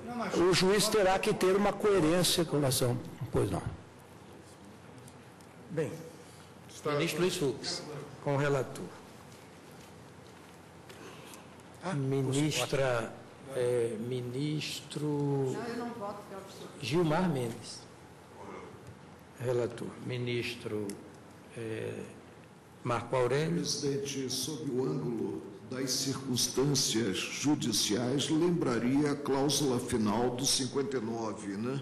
no que versa a pena necessária e suficiente à reprovação e prevenção do crime. E acompanho o relator. Não modificaria o montante, né? Vossa Excelência. Ministro Celso de Mello. Também é o senhor presidente, com o eminente ministro relator. Também eu acompanho Sua Excelência, o ministro relator. Vossa Excelência. Minutos. Hein? Quantos minutos? Cinco. Olha, foi rápido. Foi rápido. Mas ah, cer- certamente haverá situações em que não será tão rápido. Mas é que a pressa, por outro lado, não pode comprometer a segurança vamos ser- jurídica Vamos da ser otimistas. Vou tentar ser mais otimista. Senhor presidente, passo a examinar agora o item 3.1 da denúncia, relativa à Câmara dos Deputados, corrupção ativa do pertinente a Marcos Valério. Ficaram vencidos neste item os ministros Ricardo Lewandowski e Dias Toffoli. Aqui, mais uma vez, a culpabilidade, entendida como o grau de reprovabilidade da conduta, apresenta-se bastante elevada, uma vez que Marcos Valério, conforme pormenorizadamente já demonstrado, atuou intensamente na execução do crime, que não se reduziu a uma entrega de propina em situação isolada, como ocorre em vários casos judiciais de prática do delito de corrupção ativa.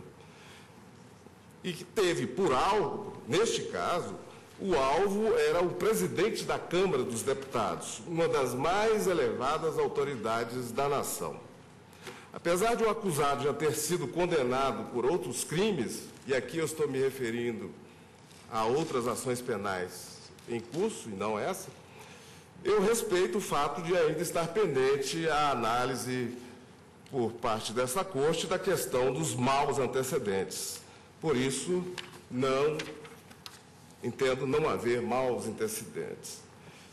Meu entendimento pessoal, no, no entanto, é de que pode ser considerado portador de maus antecedentes o acusado que tem em sua folha de antecedentes várias condenações criminais e não inquéritos. E essa é a diferença que há entre a ponderação feita por, pelo ministro Celso de Mello, envolvendo crimes dolosos ah, contra relevantes bens jurídicos e punidos com reclusão, especialmente se as condenações tiverem sido proferidas originariamente ou em grau de recurso por órgão jurisdicional colegiado de, a partir do segundo grau.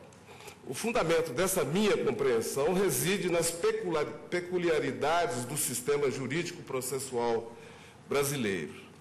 Nós todos sabemos muito bem que o trânsito em julgado de uma condenação criminal pode ser postergado pelas defesas por meio da interposição de infinitos recursos meramente protelatórios, a fim de impedir por tempo indeterminado a eficácia das leis penais.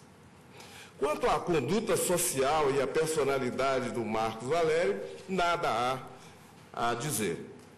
O motivo do crime de corrupção ativa é sim reprovável, pois, em última análise, o ato de ofício cuja prática era almejada também consubstanciava crime, ou seja, a contratação ilícita da empresa do acusado pela Câmara dos Deputados e o enriquecimento pessoal do acusado e dos seus sócios.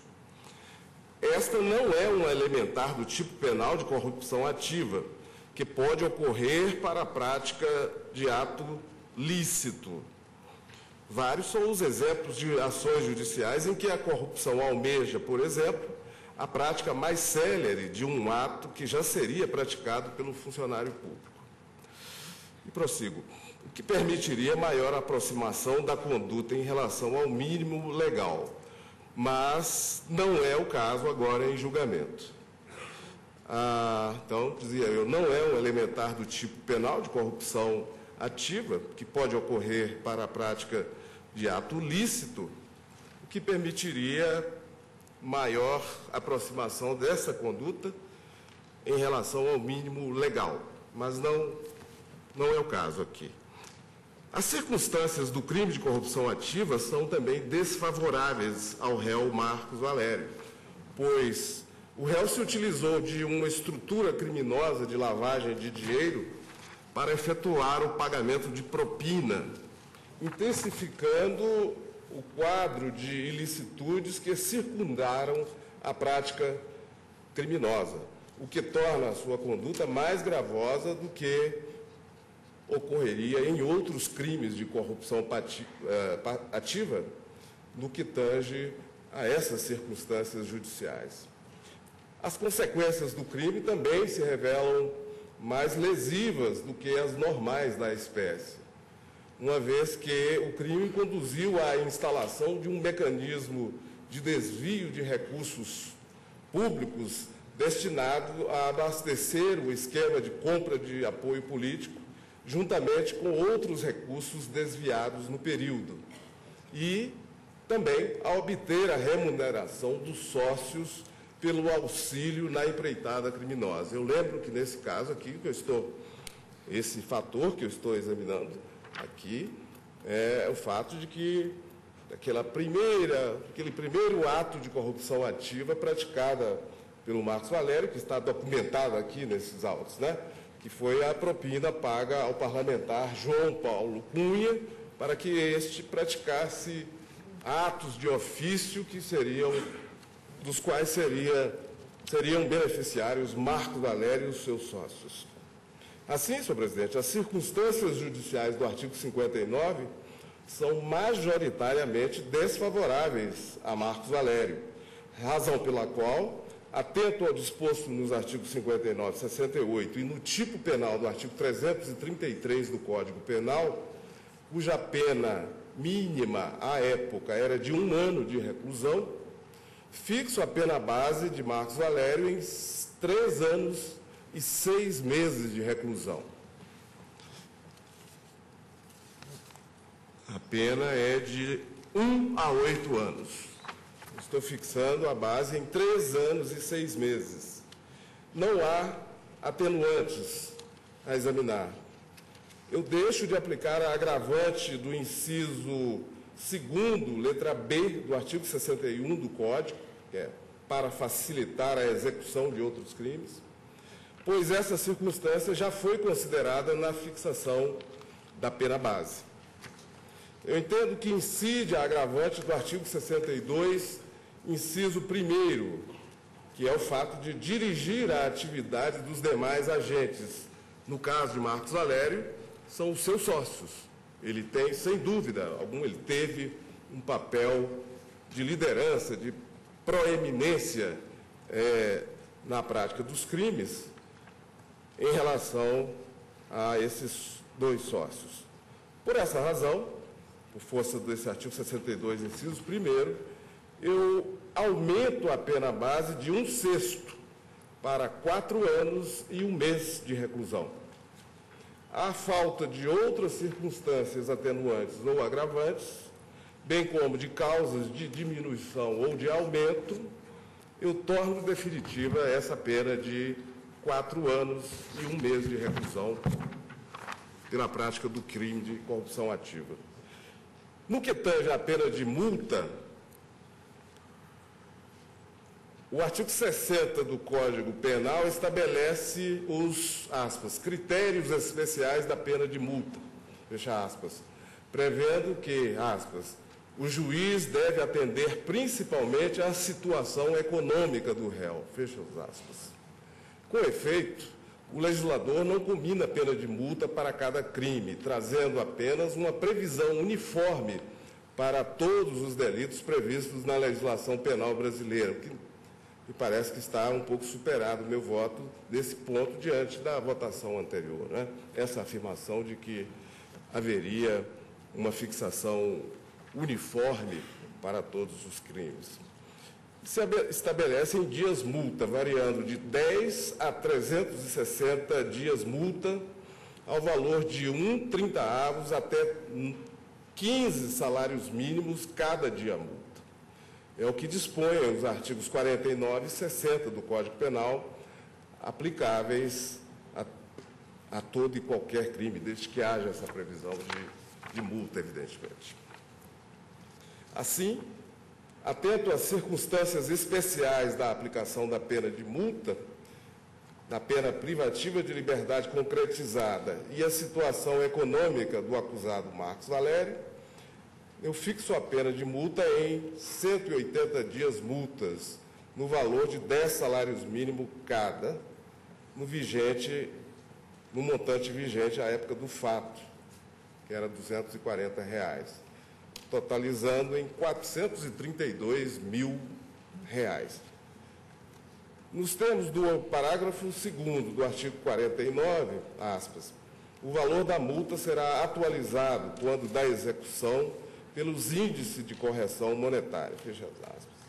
Ante o exposto, pela prática do crime de corrupção ativa, narrado no capítulo 3.1 da denúncia, condeno Marcos Valério a pena de quatro anos e um mês de reclusão e 180 dias multa, no valor de 10 salários mínimos, no valor de 10 salários mínimos cada. Anotei.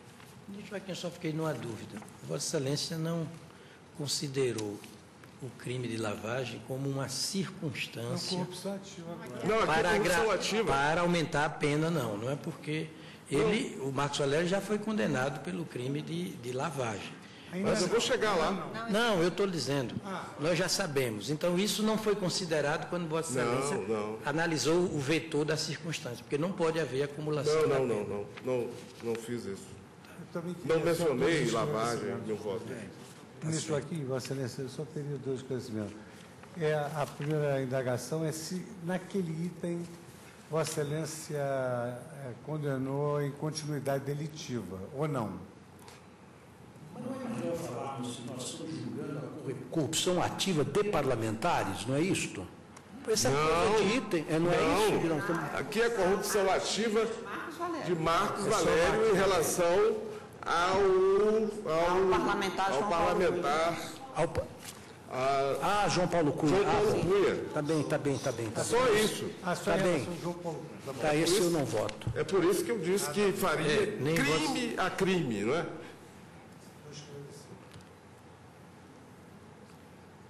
Bem, está bem explicado. Pena definitiva, quatro anos e um mês de reclusão, 180 dias multa, 10 salários mínimos é a referência, com índice de correção vigente à época do fato.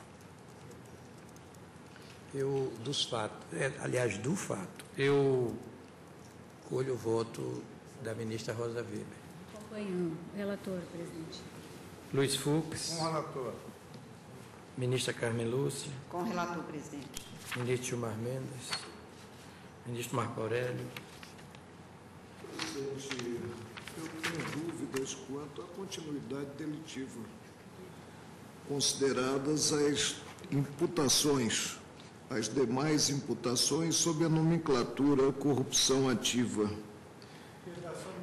Porque, caso contrário, se isolarmos a apreciação desta imputação, tendo em conta o que ocorreu relativamente à Câmara, nós já partimos de imediato para o concurso material. Ou ministro. talvez. é, Vossa Excelência me permite. Esse é um fato isolado em todo o contexto. Só houve, pelo menos, o que está seguramente documentado e que foi objeto de deliberação pelo colegiado, este ato de pagamento de propina a esse parlamentar. Ele está dissociado dos demais atos de, da mesma espécie que nós examinamos no item 6. Porque o, o 71, o 71 se refere a condições de tempo, lugar, maneira de execução e outras semelhantes. E não estamos aqui sequer perquirindo a problemática sob o ângulo de crimes da mesma espécie. Mas aqui, ministro, Seria- não houve a continuidade, não houve a continuidade no pagamento em relação a esse réu, não é? É um fato totalmente isolado, no- que que ocorreu no início outras, de toda essa, outras essa prática. condições Hum? você teria aí peculiaridades. Examinei, eu examinei. Não, sim, sim. Vossa Excelência entende que há peculiaridades. Sim. E racio- raciocinaria a partir do 71 quanto às demais imputações, considerado o. No momento oportuno, eu vou considerar o artigo 71. No momento oportuno. Então, eu acho que vamos nesse marchar. caso nós não temos. Vamos marchar, presidente. Vamos. É, Ministro- Vossa Excelência já tomou. Já colheu o Celso de Gilmar Mendes, ministro Marco Aurélio, ministro Celso de Senhor Mello. presidente, eu estou de acordo com o eminente ministro relator, mas entendo importante considerar o que vem de observar agora o eminente ministro eh, Marco Aurélio, eh, considerada a possibilidade de, de se reconhecer um nexo de continuidade delitivo, delitiva, porque isso vai ter realmente implicação e consequência na, na- na definição eh, da, da- da- sanção penal a se- fi- definitiva, não é?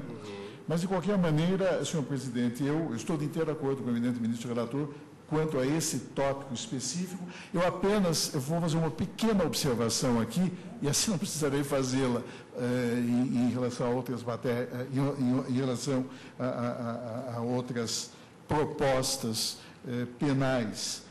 O eminente relator já afirmou que vai, não obstante sua posição pessoal, vai considerar a jurisprudência que tem prevalecido na Suprema, nessa Suprema Corte a propósito da, da, da, da do, do, do, caráter indiferente da existência de procedimentos penais em curso. Sua Excelência mencionou que, no caso, este réu em particular ostentaria, inclusive, condenações penais, Sim. ainda que não transitadas de julgado. julgado. É, exatamente. Portanto, mesmo aí, eh, nós temos, eu tenho aqui vários precedentes, no sentido de que mesmo condenações penais recorríveis, portanto, ainda expostas a impugnações recursais e, consequentemente, à possibilidade teórica de reforma do julgado condenatório, mas mesmo condenações penais recorríveis tendo em vista a presunção constitucional de inocência, não podem ser consideradas, quer para agravar a situação jurídico-penal do sentenciado, quer para lhe negar eventuais benefícios concedidos pela lei. E, e, e portanto, é, não obstante a existência, no caso de condenação penal recorrível, eu entendo que há um valor maior que se apoia na presunção constitucional de inocência e que deve prevalecer de tal modo que não se considera a existência de maus antecedentes neste caso. Esse... Eu apenas estou fazendo essas observações, senhor presidente, e é claro que isso constará no meu voto, claro. para não precisar depois, a cada momento, reafirmar uma posição que eu tenho buscado preservar sempre eh, nesta coisa. É. Sua Excelência fez a ressalva do ponto Sim. de vista pessoal, mas não valorizou esse vetor não, para o efeito de apenamento. Eu fiz uh, essa observação porque na primeira votação eu havia saltado esse tópico e não havia esclarecido uh, com precisão qual é o meu ponto de vista. Muito bem. E também para deixar claro, Vossa Excelência disse que o índice de correção monetária é o vigente à época dos fatos. A partir daí é que se dará a atualização. A lei, me parece, diz que a, a, a correção monetária, é, a atualização é devida. Perfeito. Não é? Mas o índice vigente é a época dos fatos. Isso. Ou o salário mínimo vigente à época dos fatos. 240. Perfeito. Eu digo isso porque, há, teoricamente, há embargos de declaração e devemos deixar as coisas bem claras. Bem, também nesse ponto, da dosimetria. de qualquer forma, presidente, a incidência da correção monetária é a partir da decisão. Sim. Não a partir do fato. É, perfeito. Apura-se o valor. temos decidido. Apura-se o valor tendo em conta essa referência salário, salário mínimo, mínimo na data do fato e se procede à correção monetária a partir da decisão. Fica sentado. Do trânsito em julgado da decisão. Bem, então, decisão unânime no sentido do voto do Sua Excelência o Relator pela condenação de Marcos Valério pelo crime de corrupção ativa a quatro anos e um mês de reclusão e cento, cento, 180 dias multa.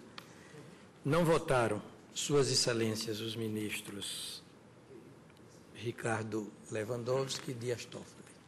Então, senhor presidente, talvez valesse a pena esclarecer que esse delito de corrupção ativa diz respeito à Câmara dos Deputados, porque é uma outra é, imputação de corrupção ativa que se refere à compra de apoio parlamentar. Ah, outra, é, não, é, há várias outras. Sim, vá, não, sim. Uma mas que se desdobra em várias, não é isso? Isso, é, é outra chega. São dois tópicos distintos. Nós afastamos a continuidade delitiva. É. Nesta. Não haveria comunicação com e, as Sim, nessas duas. Isso, deve ficar sentado isso. também registrado. Poderá haver, eventualmente, um concurso material entre esta corrupção e a outra. Perfeito.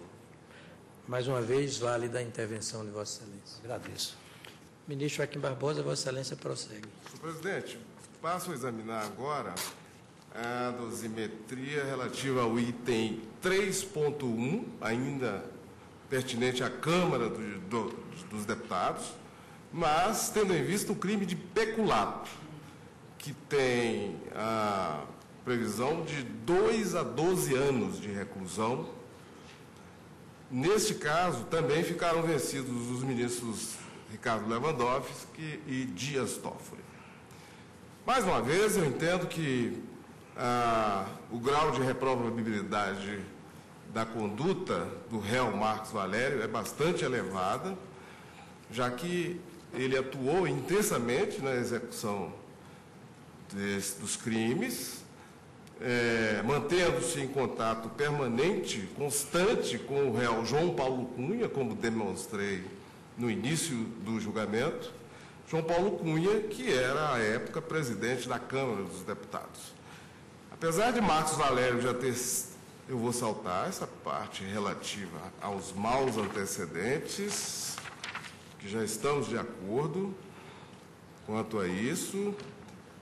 Com relação à conduta pessoal, nada, a conduta social e a personalidade do réu, nada há a ser considerado. Já quanto aos motivos do crime de peculato, também conduzem, a meu ver, um juízo negativo mais gravoso, pois o réu Marcos Valério pretendeu não apenas enriquecer ilicitamente, que é elementar do crime do tipo penal, mas também pretendeu obter a sua remuneração pela prática concomitante de outros crimes em proveito do Partido dos Trabalhadores.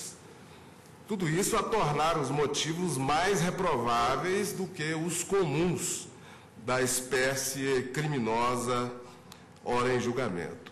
As circunstâncias do crime, por sua vez, são também desfavoráveis a Marcos Valério, uma vez que ele se utilizou da estrutura que lhe foi proporcionada pelo pelo próprio Estado brasileiro, no mais alto escalão da República, envolvendo a Câmara dos Deputados, utilizando-se da proximidade que conseguiu ter com o poder estatal como uma proteção contra a descoberta dos delitos, o que torna as condutas ainda mais lesivas ao bem jurídico protegido, simulando, não podemos esquecer, simulando a prestação de serviços que, em realidade, não foram prestados.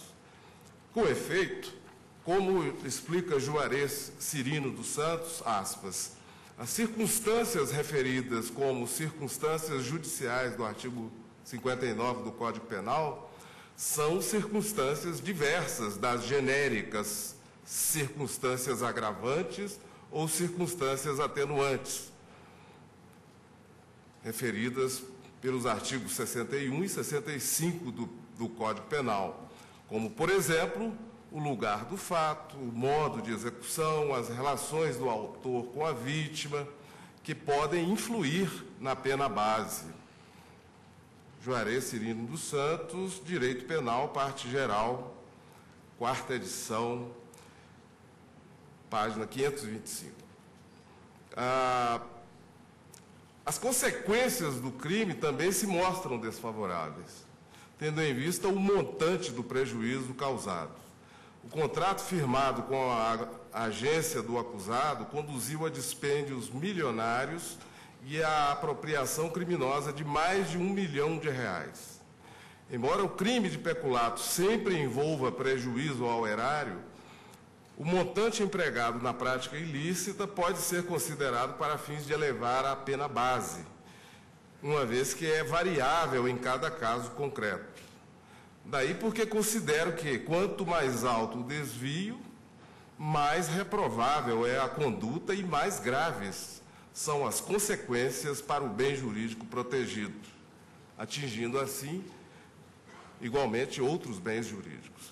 Assim, senhor presidente, as circunstâncias judiciais do artigo 59, neste caso de peculato, são majoritariamente desfavoráveis a Marcos Valério relativamente a esse crime, razão pela qual eu, em atenção ao disposto nos artigos 59, 68 e no tipo penal, 312 do Código Penal, fixo a pena base de Marcos Valério em quatro anos de reclusão. Lembro que Código Penal fala de 2 a 12 anos. Estou fixando a pena base em 4. Não há atenuantes. Eu deixo de aplicar a agravante do artigo 61, inciso 1, letra B do Código Penal, que é para facilitar a execução de outros crimes. Entendo que não, não houve, ou pelo menos não está demonstrada esta, essa intenção. Deixo de aplicar porque a circunstância já foi considerada para a fixação da pena base. Incide, por outro lado, o agravante do artigo 62, inciso 1, que é, ou segundo, né? dirigir a atividade dos demais agentes. No caso de Marcos Valério, eram seus sócios. Por tal motivo, eu aumento a pena base de um sexto para quatro anos e oito meses de reclusão. A, a falta de outras circunstâncias, atenuantes ou agravantes, bem como de causas de diminuição ou de aumento, eu torno definitiva essa pena de quatro anos e oito meses de reclusão. No que tange a pena de multa, é, relembro que o artigo 60 do Código Penal diz que, aspas, o juiz deve atender principalmente a situação econômica do réu. E neste caso, como todos sabemos, ou tivemos oportunidade de apreciar ao longo do julgamento, o senhor Marcos Valério é pessoa de posses, não é? razão pela qual eu estou fixando em um valor de é, total da 546 mil reais. Digo, vou ler todo. Assim, atento às circunstâncias especiais da aplicação da pena de multa, da pena privativa de liberdade concretizada e da situação econômica do acusado, fixo a pena de multa em 210 dias multa, no valor de 10 salários mínimos cada, no montante vigente à época do fato, que era 260 reais a, neste caso aqui em do, 2004, o que totaliza um montante de 546 mil reais atualizável. E concluo, ante o exposto pela prática do crime de peculato, narrado no capítulo 3.1, eu condeno Marcos Valério à pena de reclusão de quatro anos e oito meses de reclusão e dez dias multa. 200, 210 dia, dias multa no valor de 10 salários mínimos cada, no montante vigente à época do, do fato. Vou, vou... Não, é de 1 até 15, Olha, né? Vamos aclarar ainda uma vez. O dia multa é fixado em valor unitário, né? E que toma como parâmetro o salário mínimo vigente à época do fato Sim. delituoso. Que era dos 260 reais em 2004. E a atualização se dá desde então. Sim. É, não, não é? Não, não, então, não, presidente. É, Atualização é, é, Isso daí, na verdade, será objeto de uma fase que é a fase de liquidação da pena. Da né? Liquidação da sentença penal condenatória. Então, esses cálculos é o todos serão 49 feitos. do Código é? Penal. 49 combinado com 60 para Isso. A única observação que eu, mas eu tenho a impressão que foi um equívoco, porque o eminente ministro Joaquim fixou em 210 dias de multa, cada um no valor de um salário mínimo, foi não, isso? Cinco. Ou cada um no valor de 10 salários mínimos, eu acho que aí ultrapassa aqui o limite do 49. Não, os 210 dias de multa no valor de 10 salários mínimos cada. É, a minha tem dúvida... um dispositivo legal aí, ministro? É, o valor do dias mútuos será fixado pelo juiz, não podendo ser inferior ao trigésimo maior salário mensal, vigente ao tempo do fato, nem superior a cinco vezes esse salário.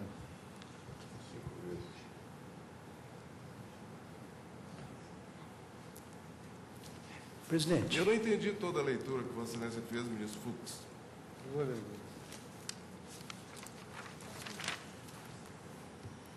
É, o eminente relator levou em consideração os parâmetros estabelecidos no artigo 49 do Código Penal.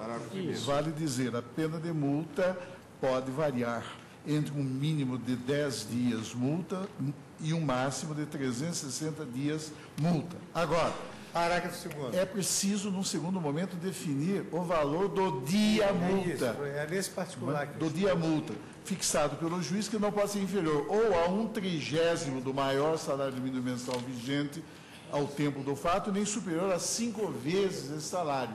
Então, há, na verdade... E aí, ministro Celso, Vossa Excelência me permite, o artigo 60, parágrafo 1 do Código Sim. Penal, permite que se multiplique por três claro, se não for eficaz. Exatamente. Então, os cinco menor. não são o mínimo.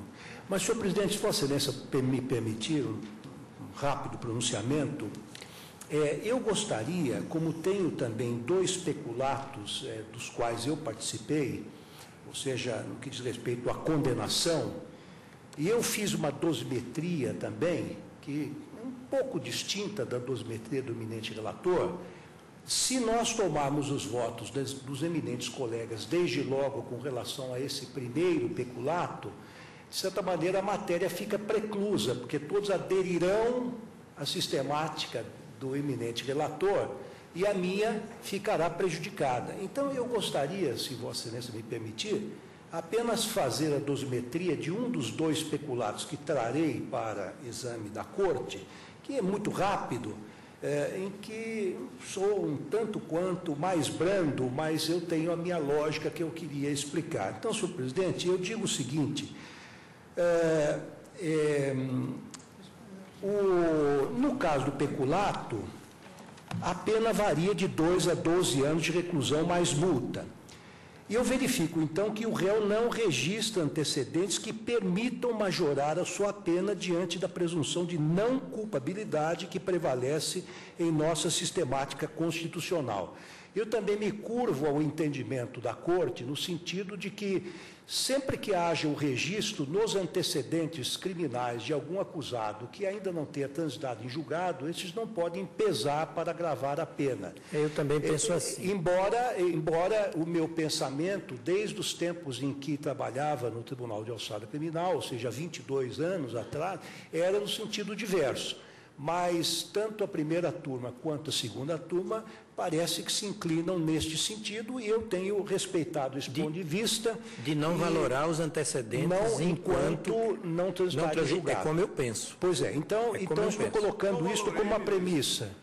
É, como Vossa Excelência também. E o ministro aqui não valorou. Isto, comungamos também nesse ponto. Então, nós estamos de acordo com isso. Aí eu digo o seguinte: por outro lado, inexistem elementos nos autos que permitam avaliar adequadamente a conduta social e a personalidade do acusado. Não temos elementos para isso. Seria realmente uma ilação que faríamos sobre a personalidade, não há laudo criminológico, não há absolutamente nada, nem laudo social. Digo então que as circunstâncias dos crimes também não revelam maior excepcionalidade, porque, afinal de contas, são peculatos iguais àqueles que se fazem é, contra a administração pública, o peculato é sempre contra a administração pública, lamentavelmente a centenas, se não aos milhares, é, e, portanto, em detrimento da res pública. Mas, a meu ver, entendi que não revela maior excepcionalidade. Os motivos e as consequências destes é, dos crimes, bem como a intensa culpabilidade do réu, no entanto, autorizam a fixação da pena base acima do mínimo legal, considerando que restou estampado nos autos que Marcos Valério, de longa data, vem perseverando na prática de expedientes ilícitos de elevada sofisticação, para de forma continuada promover a lavagem de dinheiro para o cometimento de uma série de outros crimes em detrimento da administração pública e do sistema financeiro. Então, por essas razões, Sua Excelência, salvo engano, está é, duplicando a pena, mas eu estou dizendo, por essas razões, fixo a pena base em um ano acima do mínimo legal, de modo a atingir o patamar de três anos de reclusão mais 15 dias multa. E desde logo adianto que eu, com relação à pena de multa, eu tenho adotado sempre o critério de aumentá-la proporcionalmente à pena corporal. E eu a exacerbo um pouco no fim quando eu determino exatamente o valor da pena multa dentro dos parâmetros que me são fornecidos pelo próprio Código Penal. Aí, tal como Sua Excelência, embora não aumente em dois anos, mas aumentei apenas em um ano, eu entendo que está presente agravante do artigo 62.1 do Código Penal, decorrente de sua condição de ser um dos principais organizadores do esquema criminoso descrito da denúncia, e aumento a pena, então, em mais seis meses, resultando em três anos e seis meses de reclusão, mais 17 dias multa, penas que tornam, definitiv que tornam definitivas ausentes quaisquer causas de aumento ou de diminuição da pena.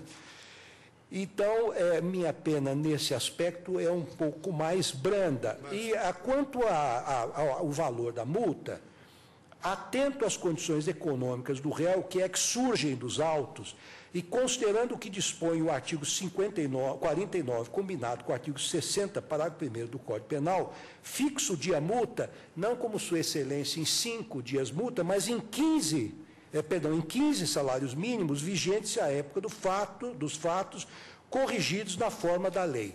O que é que eu levei em consideração? Claro que se eu estivesse fazendo um exame de um crime isoladamente, eu talvez pudesse ter exacerbado um pouco mais a dosimetria nesse aspecto. Mas como eu verifiquei que são vários peculatos e vários delitos que se somarão em continuidade eh, em, em, concurso material, em homenagem ao princípio da proporcionalidade e da razoabilidade, e tendo em conta o resultado final, que a mim me pareceria um tanto quanto exacerbado em demasia, eu preferi ser mais moderado na dosimetria das penas individualmente. Então, apenas isto. Eu não reprimino, não faço nenhum reproche, a dosimetria é feita pelo eminente relator, mas é que eu levei sempre em consideração o conjunto final é, da obra, quer dizer, dessa dosimetria. Então, preocupei-me, fiz vários cálculos sempre para chegar numa pena razoável aquela que o próprio Código Penal diz necessária e suficiente à prevenção do crime. Então, é, é, sem, apenas queria apresentar ao plenário da Corte uma eventual outra alternativa é, que pudesse ser cogitada, se Você for o caso. traz esse dado comparativo, mas eu gostaria de perguntar, a análise de Vossa Excelência aí, lida há pouco, diz respeito a qual réu? A Marcos Valério. Marcos Valério. A Marcos Valério. É, nós estamos só nesse. Qual, qual item? Item. Não, eu tô, eu, como eu tenho dois peculatos, eu, eu, eu inocentei Marcos, é, é, é, Paulo Marcos Valério com relação aos peculatos que diz respeito à Câmara dos Deputados. A licitação, Mas aí, licitação de. Vossa Excelência não tem voto, ministro. Não, eu, eu não, sei, eu não estou votando. Eu simplesmente estou dizendo que como eu também terei voto em outros peculatos, Exato. e é como existe, deve existir, penso eu, uma certa simetria na dosimetria dos peculatos, e para não ficar desde logo vencido, ou para que a matéria não preclua desde já, então eu, eh, com autorização do presidente, eu adiantei apenas a dosimetria no que diz respeito ao peculato, só isso. Mas veja bem, ministro, a minha O análise está que é sendo válido, feita... Vossa Excelência está dizendo os parâmetros em que se louvou não é, para é, aplicar pena em caso de peculato, naqueles, naquelas situações em que Vossa Excelência vai votar. Em duas, exatamente, mais É, duas. é, senhor e- presidente, com a deliberação do plenário, por maioria, no sentido de quem absolveu não participa da dosimetria, talvez o- o- o melhor seria iniciar por aqueles casos em que a maioria ou a unanimidade participou, porque senão aqueles que vão votar em casos específicos que houve condenação já estarão fora de uma discussão ou de uma oportunidade de trazer os seus parâmetros. Esse que é o problema. Então, talvez fosse o caso de começar por aqueles casos em que houve unanimidade. É, esse que está claro, se Vossas Excelências acompanham, acompanhar em toto o relator, certamente não, não se sensibilizarão para a matéria pode ficar uma ponderação para, não, para Vossa Excelência Talvez fosse para o caso de começar pelos casos em que houve unanimidade e vindo decrescendo entre unanimidade até os. Mas veja bem, eu estou fazendo uma análise adaptada a um caso concreto que é distinto do restante. data vênia, eu acho que uma análise como esta, feita pelo eminente ministro Ricardo Lewandowski, trazer essa análise aqui para esse caso, que é concreto, é trazer uma análise genérica para uma situação que, no entanto, é concretizada. Não, ministro, é que eu não vejo só a árvore, eu, estou... eu vejo a floresta também. Eu, não, mas eu não estou fixando aqui parâmetros que serão válidos para aquelas outras situações em que haverá é, continuidade delitiva, que não haverá, não é? E mais, olha, veja bem, a minha análise difere bastante da feita pelo ministro Lewandowski, porque eu entendo que há circunstâncias bem desfavoráveis. Ele não. Não, veja bem. Como não? Olha o que eu disse aqui em relação às circunstâncias. Ah, os motivos do crime me parecem evidentes, não é? Por que, que ele se envolveu eh, em toda essa, esta, essa trama? Com o objetivo de, de, de enriquecer, de obter lucros, quase sempre de maneira eh, ilegítima. As circunstâncias, como eu disse, são desfavoráveis porque, como eu disse há, há semanas, ele utilizou a própria estrutura do Estado, ele tinha diálogos com o presidente frequentes dentro da Câmara dos Deputados, na residência oficial da Câmara dos Deputados. É, esse pagamento de, de propina se deu poucas, menos de 24 horas após esses encontros na residência oficial. Ué, tudo isso, a meu ver, são circunstâncias que devem sim ser levadas. Não, mas eu estou levando, eu, eu estou, e... dizendo, estou dizendo exatamente isso, os motivos mas e as circunstâncias destes crimes, bem como a intensa culpabilidade, no entanto, autorizam a fixação da pena acima do mínimo legal. Vossa Excelência ficou Aí fixou para essa hipótese, né?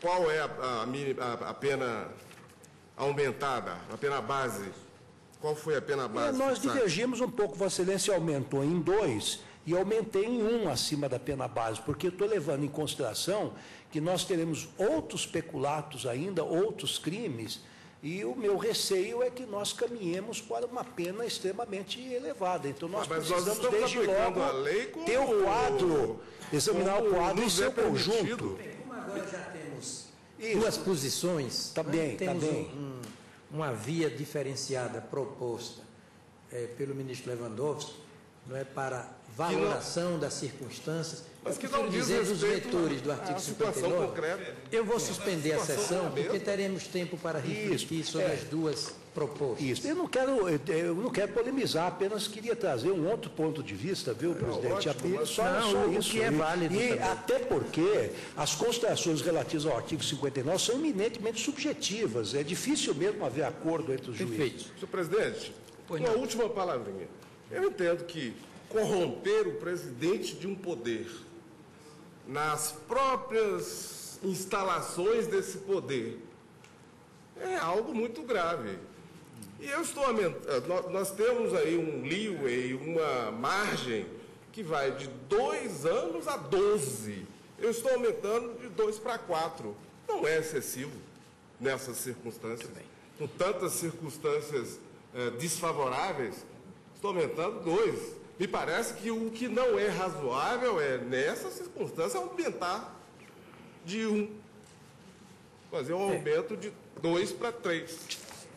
Feitas as justificativas, eu, eu é, suspendo é, a sessão. É, de conjunto da pena. Antes, presidente? Eu estou preferindo para a gente vai refletir e retorna com mais tá brevidade. Tá. Suspendo a sessão por 30 minutos.